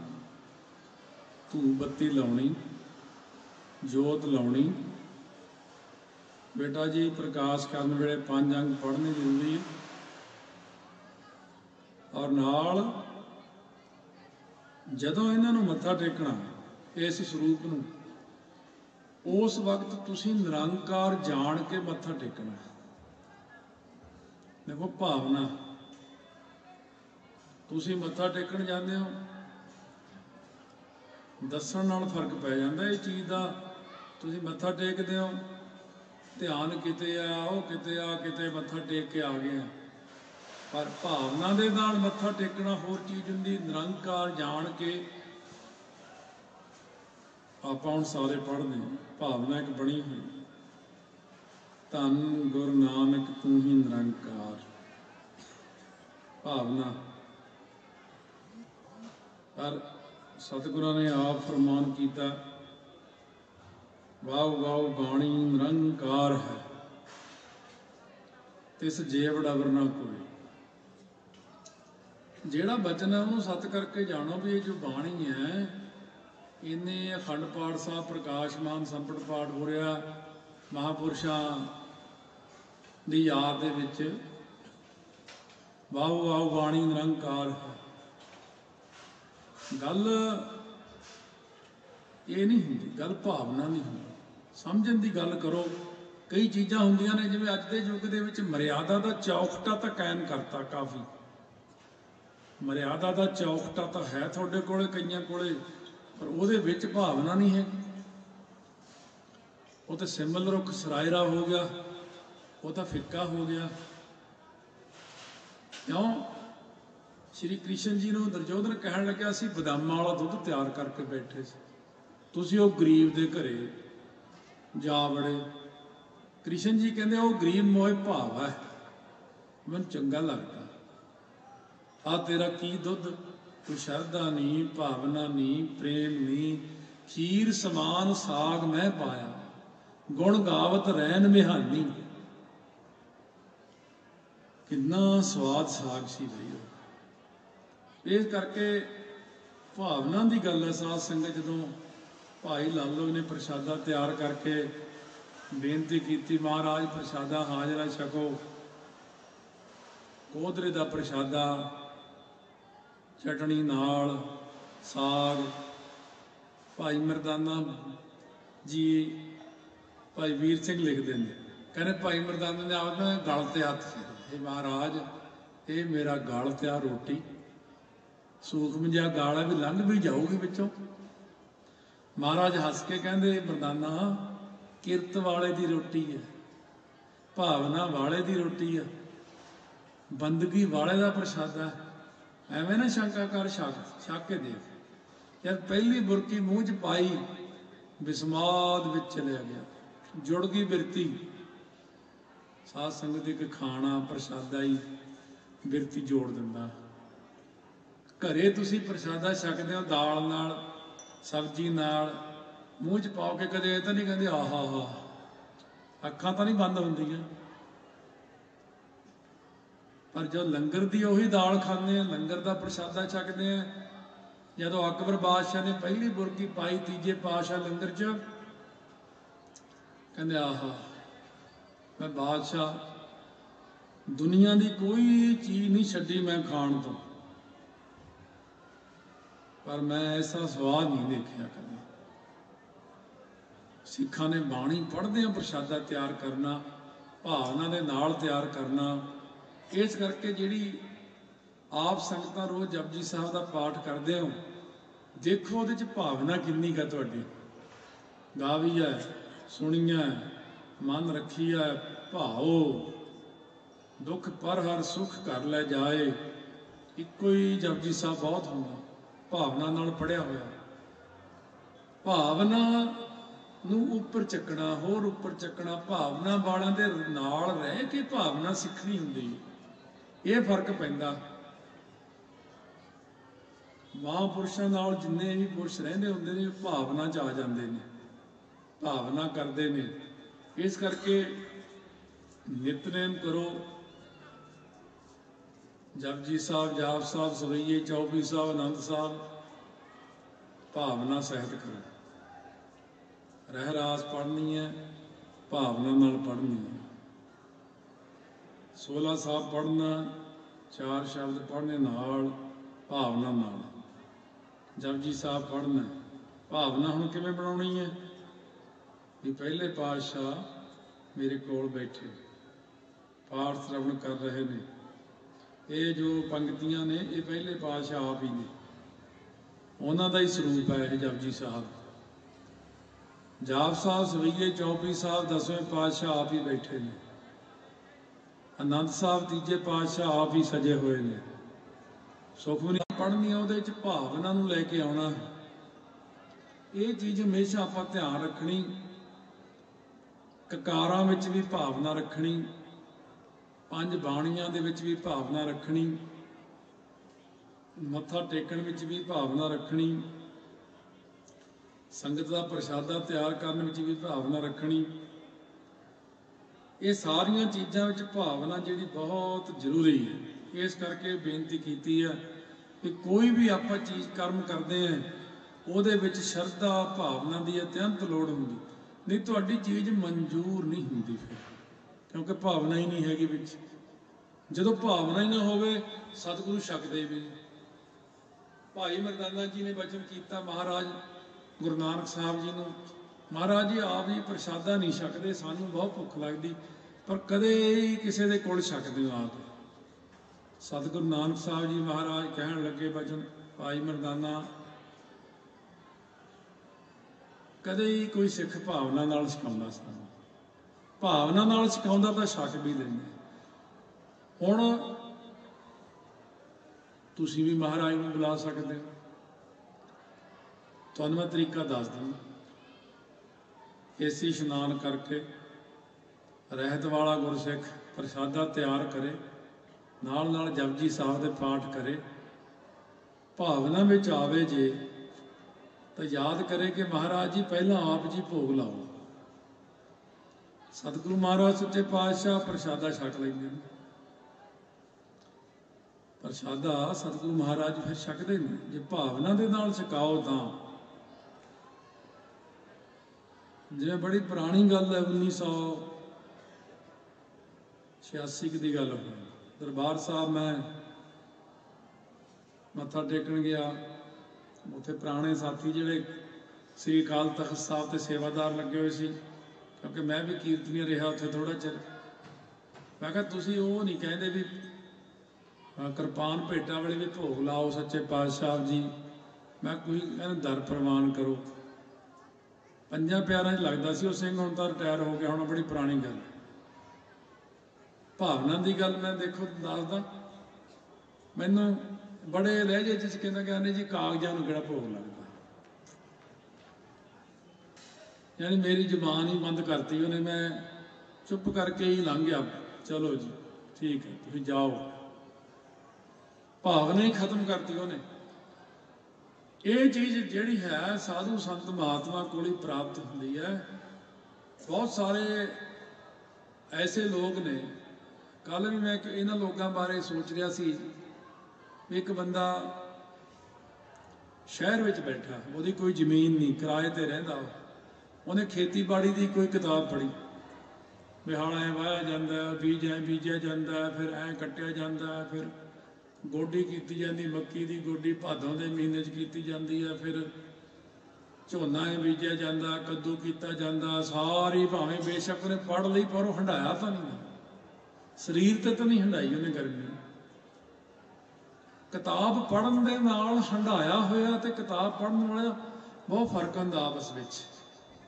ਸਾਧੂ ਸੰਤਾਂ ਮਹਾਤਮਾ ਦੇ ਨਾਲ ਰਹਿਣ ਵਾਲਿਆਂ ਨੇ ਸਰੀਰ ਦੇ ਉੱਤੇ ਹੰਡਾਇਆ ਸਾਰਾ ਕੁਝ ਤੇ ਕੇਵਲ ਜਿਹੜੇ ਕਿਤਾਬੀ ਗੱਲਾਂ ਕਰਨ ਵਾਲੇ ਕਿਤਾਬਾਂ ਪੜ੍ਹੀਆਂ, ਉਹਨਾਂ ਨੂੰ ਪੜ੍ਹਾ ਦਿੱਤੀਆਂ ਗਈਆਂ, ਪ੍ਰੋਫੈਸਰਾਂ ਨੇ ਕਿਤਾਬਾਂ ਪੜ੍ਹਾਤੀਆਂ ਉਹ ਭਾਵਨਾ ਨੂੰ ਕੀ ਸਮਝ ਸਕਦੇ? ਭਾਵਨਾ ਕੀ ਚੀਜ਼ ਹੁੰਦੀ? ਭਾਵਨਾ ਹੋਰ ਚੀਜ਼ ਹੁੰਦੀ ਹੈ, ਪ੍ਰੇਮ ਹੋਰ ਚੀਜ਼ ਹੁੰਦਾ ਹੈ। ਇਸ ਕਰਕੇ ਉਹਨਾਂ ਨੂੰ ਇਹ ਚੀਜ਼ ਦੀ ਸਮਝ ਹੀ ਨਹੀਂ ਲੱਗਦੀ ਕਿ ਭਾਵਨਾ ਕੀ? ਇਸ ਉਦਾਹਰਨ ਨੂੰ ਤੁਸੀਂ ਚੰਗੀ ਤਰ੍ਹਾਂ ਸਮਝੋ ਵੀ ਜੇ ਤੁਸੀਂ ਕੋਈ ਵੀ ਕਿਤਾਬ ਪੜ੍ਹ ਲਓ, ਕੋਈ ਮੰਨ ਲਓ ਮਹਾਰਾਜਾ ਪਟਿਆਲਾ ਨੇ ਜਦੋਂ ਪ੍ਰਸ਼ਾਦਾ ਕੀਤਾ ਸੀ, ਬਾਬਾ ਆਤਰ ਸਿੰਘ ਜੀ ਨੂੰ ਪ੍ਰਸ਼ਾਦਾ ਛਕਾਉਣ ਲੱਗੇ ਨੂੰ। ਰਾਜਾ ਜੀ ਬੈਠੇ ਰਹੇ, ਰਾਜਾ ਭਵਿੰਦਰ ਸਿੰਘ ਜੀ ਤੇ ਰਾਣੀਆਂ ਵੀ ਬੈਠੀਆਂ ਰਹੀਆਂ। ਬਾਬਾ ਜੀ ਨੇ ਅਰਦਾਸ ਕਰਤੀ ਟਹਿਲ ਭਾਵਨੀ ਨੌਕਰਾਂ ਦੀ ਲੰਗਰ, ਦਾਣਾ ਪਾਣੀ ਗੁਰੂ ਦਾ। ਰਾਜਾ ਬਾਅਦ ਚ ਕਹਿੰਦਾ, ਮਹਾਰਾਜ, ਸਾਡੀ ਤਾਂ ਅਰਦਾਸ ਹੀ ਨਹੀਂ ਕੀਤੀ ਕਹਿੰਦਾ, ਤੂੰ ਕੀ ਕੀਤਾ? ਸਬਜ਼ੀ ਕੱਟੀ, ਬਣਾਈ, ਆਟਾ ਗੁੰਨੇ ਰੋਟੀ ਪਕਾਈ ਹੈ। ਕੀ ਕੀਤਾ? ਕਹਿੰਦੇ ਕੁਝ ਕੀਤਾ ਤਾਂ ਹੈ ਨਹੀਂ, ਤੇਰੀ ਅਰਦਾਸ ਕਾਦੀ ਕਰਦੇ? ਹੁਣ ਦੂਜੇ ਦਿਨ ਫਿਰ ਕਿਤਾਬ ਦੇ ਵਿੱਚੋਂ ਪੜ੍ਹਦੇ ਆ, ਰਾਣੀਆਂ ਪੜ੍ਹਦੀਆਂ। ਵੀ ਇਸ ਤਰ੍ਹਾਂ ਬਣਾਈ ਦੀ ਆ, ਉਰਦੂ ਦੀ ਕਿਤਾਬ ਲੈ ਕੇ ਉਹਦੇ ਚ ਦੇਖਦੀਆਂ ਛਾਟਾ ਹੈ ਗੁੰਨੀ ਦਾ, ਐ ਸਬਜ਼ੀ ਦਾਲ ਬਣਾਈ ਦੀ ਆ। ਹੁਣ ਉਹਨਾਂ ਨੂੰ ਪਤਾ ਨਹੀਂ ਵੀ ਬਣਾਈ ਦੀ ਕਿਵੇਂ। ਆਟੇ 'ਚ ਇੰਨਾ ਪਾਣੀ ਪਾ ਕੇ ਐਂ ਘੋਲਿਆ, ਲੇਟੀ ਬਣਾਤੀ ਉਹਦੀ। ਨਾ ਉਹਨਾਂ ਨੂੰ ਸਬਜ਼ੀ ਬਣਾਉਣ ਦਾ ਪਤਾ। ਉਹ ਕਹਿੰਦੇ, ਮਹਾਰਾਜ ਵੀ ਨੌਕਰਾਂ ਨੂੰ ਪੁੱਛ ਤਾਂ ਸਕਦੇ ਆ, ਕਹਿੰਦੇ, ਆ ਪੁੱਛ ਸਕਦੇ ਆ। ਪ੍ਰੈਕਟੀਕਲੀ ਜਿਹੜੇ ਰੋਟੀ ਬਣਾਉਣ ਵਾਲੇ ਸੀ ਜਾਂ ਸਬਜ਼ੀ, ਉਹਨਾਂ ਨੇ ਆ ਕੇ ਦੱਸਿਆ ਵੀ ਇਹ, ਇਹਦੇ 'ਚ ਹੁਣ ਹੋਰ ਆਟਾ ਪਾ ਲਓ। ਤੇ ਐਂ ਕਰਕੇ ਇੱਕ ਐਂ ਗੁੰਨੋ, ਹਾਂ, ਹੁਣ ਇਹ ਗਾੜਾ ਸਖਤ ਆਟਾ ਹੋ ਗਿਆ। ਹੁਣ ਇਹ ਸਬਜ਼ੀ ਐਂ ਕੱਟੋ, ਹੁਣ ਇਹਦੇ 'ਚ ਆਹ ਪਾਓ। ਐ ਮਸਾਲਾ ਕੱਟੀ ਦਾ। ਉਹਨਾਂ ਨੂੰ ਕੀ ਪਤਾ ਸੀਗਾ ਇਸ ਗੱਲ ਦਾ? ਕੋਈ ਵੀ ਚੀਜ਼ ਜਿਹੜੇ ਦੇ ਵਿੱਚੋਂ ਪ੍ਰੈਕਟੀਕਲੀ ਨਹੀਂ ਲੰਘੇ ਆਪਾਂ, ਉਹ ਚੀਜ਼ ਦਾ ਤਤ, ਉਹਦਾ ਸੇਕ, ਉਹਦਾ ਜੋ ਵੀ ਅਭਿਆਸ ਕਿਸੇ ਵੀ ਚੀਜ਼ ਦਾ, ਬੰਦਗੀ ਦਾ ਵੀ ਹੈ, ਉਹ ਨਹੀਂ ਆਪਾਂ ਨੂੰ ਪਤਾ ਲੱਗ ਸਕਦਾ। ਕਈ ਅੱਜ ਦੇ ਵੀਰ ਜਿਹੜੇ ਆ, ਉਹ ਪ੍ਰਚਾਰ ਕਰਦੇ ਜੇ ਅਸੀਂ ਕੋਈ ਚੀਜ਼ ਦੱਸਦੇ ਆ, ਕਦੇ ਨਕਲੀ ਹੈ ਇਹ ਗੱਪ ਗਪੌੜੀ ਐਵੇਂ ਹੀ ਹੈ ਫਿਰ ਉਹਨਾਂ ਤੇ ਹਾਸਾ ਵੀ ਆਉਂਦਾ ਹੀ ਆ, ਵੀ ਆਪਣੀ ਬੁੱਧੀ ਦਾ ਮਜ਼ਾਕ ਆਪੇ ਉਡਾਈ ਜਾਂਦੇ ਹੋ। ਅਸੀਂ ਤਾਂ ਤੁਹਾਨੂੰ ਪਛਾਣ ਕੇ ਵੀ ਤੁਸੀਂ ਠੱਗ ਹੋ। ਵੀ ਤੁਹਾਨੂੰ ਆਉਂਦਾ ਜਾਂਦਾ ਕੱਖ ਨਹੀਂ ਕਿਤਾਬ ਹੀ ਪੜ੍ਹੀ ਹੋਈ ਹੈ। ਪਰ ਜਿਨ੍ਹਾਂ ਨੇ ਕਮਾਈਆਂ ਕੀਤੀਆਂ, ਜਿਨ੍ਹਾਂ ਨੇ ਅਭਿਆਸ ਕੀਤੇ, ਜਿਨ੍ਹਾਂ ਨੇ ਨਾਮ ਜਪੇ ਨੇ, ਉਹਨਾਂ ਦਾ ਪਤਾ ਲੱਗ ਜਾਂਦਾ ਵੀ ਇਹ ਬੰਦੇ ਨੇ ਕੋਈ ਕਮਾਈ ਕੀਤੀ ਹੋਈ। ਕਮਾਈ ਕਰਨ ਵਾਲਿਆਂ ਦਾ ਤੇ ਨਾ ਕਮਾਈ ਕਰਨ ਵਾਲਿਆਂ ਦਾ, ਕੇਵਲ ਪੜਨ ਵਾਲਿਆਂ ਦਾ ਪਤਾ ਲੱਗ ਜਾਂਦਾ ਕਿ ਇਹ ਬੰਦੇ ਨੇ ਕਮਾਈ ਨਹੀਂ ਕੀਤੀ। ਇਸ ਕਰਕੇ ਸਾਧੂ ਮਹਾਤਮਾ ਦੇ ਨਾਲ ਰਹਿਣ ਵਾਲੇ ਜਿਹੜੇ ਗੁਰਮੁਖ ਹੁੰਦੇ ਨੇ, ਉਹ ਆਪਣੇ ਸਰੀਰ ਨੂੰ ਉਹਨਾਂ ਦੇ ਗਰਮੀ ਵਿੱਚੋਂ, ਸਰਦੀ ਵਿੱਚੋਂ ਲੰਘਾਉਂਦੇ ਨੇ।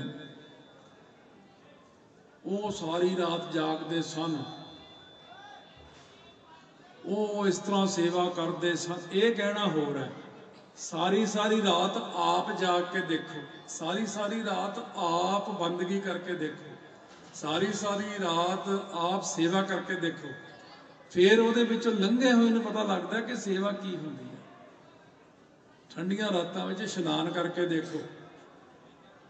ਜਿਹੜਾ ਬੰਦਾ ਆਰਾਮ ਨਾਲ ਉੱਠਦਾ ਨਹਾ ਧੋ ਲਿਆ, ਗਰਮ ਪਾਣੀ ਦੇ ਨਾਲ ਉਹ ਤੋਂ ਮਾੜੀਆਂ ਚੀਜ਼ਾਂ ਖਾ ਲਈਆਂ, ਗਲਤ ਚੀਜ਼ਾਂ ਖਾ ਲਈਆਂ, ਉਹਨਾਂ ਨੂੰ ਇਹ ਪ੍ਰੈਕਟੀਕਲ ਨਹੀਂ ਹੁੰਦੀ। ਇਸ ਕਰਕੇ ਜਿਹੜੀਆਂ ਇਹ ਸਾਰੀਆਂ ਚੀਜ਼ਾਂ ਭਾਵਨਾ ਦੇ ਨਾਲ ਜੁੜੀਆਂ ਹੋਈਆਂ ਨੇ, ਸੰਤ ਕਾ ਮਾਰਗ, ਧਰਮ ਕੀ ਪੌੜੀ, ਕੋਵਡ ਭਾਗੀ ਪਾਏ, ਕੋਟ ਜਨਮ ਕੇ ਕਿਲ ਵਿਖਨਾਸੇ ਹਰ ਚਰਨੀ ਚਿਤ ਲਾਏ।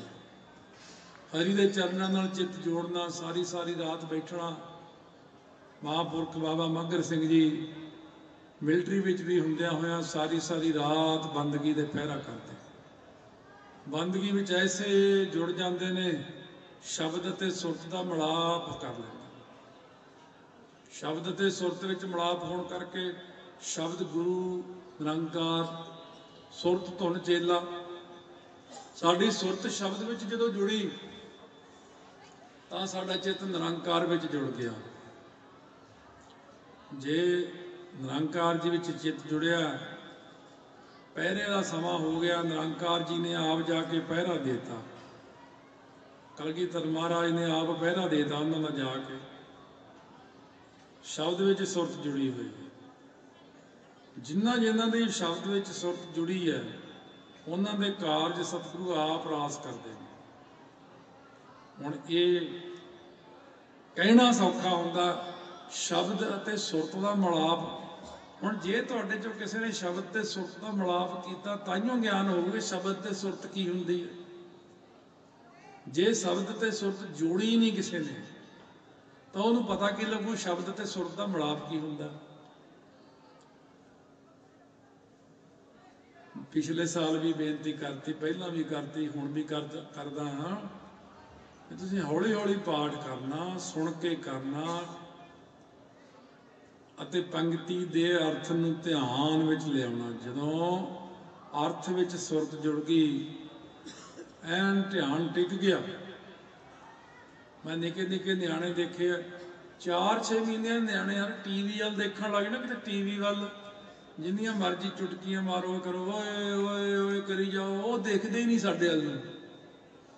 ਕਿਉਂ? ਉਸ ਇੰਨੀ ਉਹਦੀ ਟਿਕ ਟਿਕੀ ਲੱਗੀ ਹੋਈ ਟੀਵੀ ਵਿੱਚ ਹੈ 3-4 ਮਹੀਨਿਆਂ ਦਾ ਹੀ ਹਲੇ। ਜਿਨ੍ਹਾਂ ਨਿਆਣਿਆਂ ਦੀ ਟਿਕਟਿਕੀ ਲੱਗ ਜਾਂਦੀ, ਆਪਣੀ ਵੀ ਲੱਗ ਜਾਂਦੀ, ਕਈ ਕੰਮਾਂ ਟਿਕ ਟਿਕੀ ਲੱਗ ਗਈ, ਜੁੜ ਗਏ। ਤੇ ਫਿਰ ਹੋਰ ਪਾਸੋਂ ਧਿਆਨ ਹੀ ਹਟ ਜਾਂਦਾ। ਜਿਨ੍ਹਾਂ ਦਾ ਧਿਆਨ ਜਪਜੀ ਸਾਹਿਬ ਦੇ ਇੱਕ ਇੱਕ ਪੰਕਤੀ ਦੇ ਵਿਚਾਰ ਵਿੱਚ ਜੁੜ ਗਿਆ। ਹੁਣ ਤਾਂ ਵੈਸੇ ਲੱਗਦਾ ਬਈ ਇੰਨਾ ਟਾਈਮ ਹੋ ਗਿਆ, ਇੰਨਾ ਟਾਈਮ ਹੋ ਗਿਆ। ਜਦੋਂ ਚਿੱਤ ਜੁੜਦਾ ਸ਼ਬਦ ਤੇ ਸੁਰਤ ਦੇ ਵਿੱਚ ਫਿਰ ਤਾਂ ਜੇ ਕੋਈ ਨਾ ਹਿਲਾਉਣ ਬੁਲਾਉਣ ਵਾਲਾ ਹੋਵੇ ਫਿਰ ਤਾਂ 4-5 ਘੰਟੇ ਇੱਕ ਜਪਜੀ ਸਾਹਿਬ ਦੇ ਵਿੱਚ ਲੰਘ ਗਏ ਜਦੋਂ ਸਰੀਰ ਹਲਕਾ ਫੁੱਲ ਹੋ ਚਿੱਤ ਜੁੜ ਗਿਆ, ਰਸ ਬਣ ਗਿਆ, ਇਕਾਗਰਤਾ ਹੋ ਗਈ, ਭੁੱਖ ਨਹੀਂ ਰਹੀ, ਪਿਆਸ ਨਹੀਂ ਰਹੀ, ਕਹਿਣ ਵਾਲਾ ਕਹਿੰਦਾ, ਬਸ ਕਰ ਹੁਣ ਟਾਈਮ ਤਾਂ ਦੇਖ ਕਿੰਨਾ ਹੋ ਗਿਆ।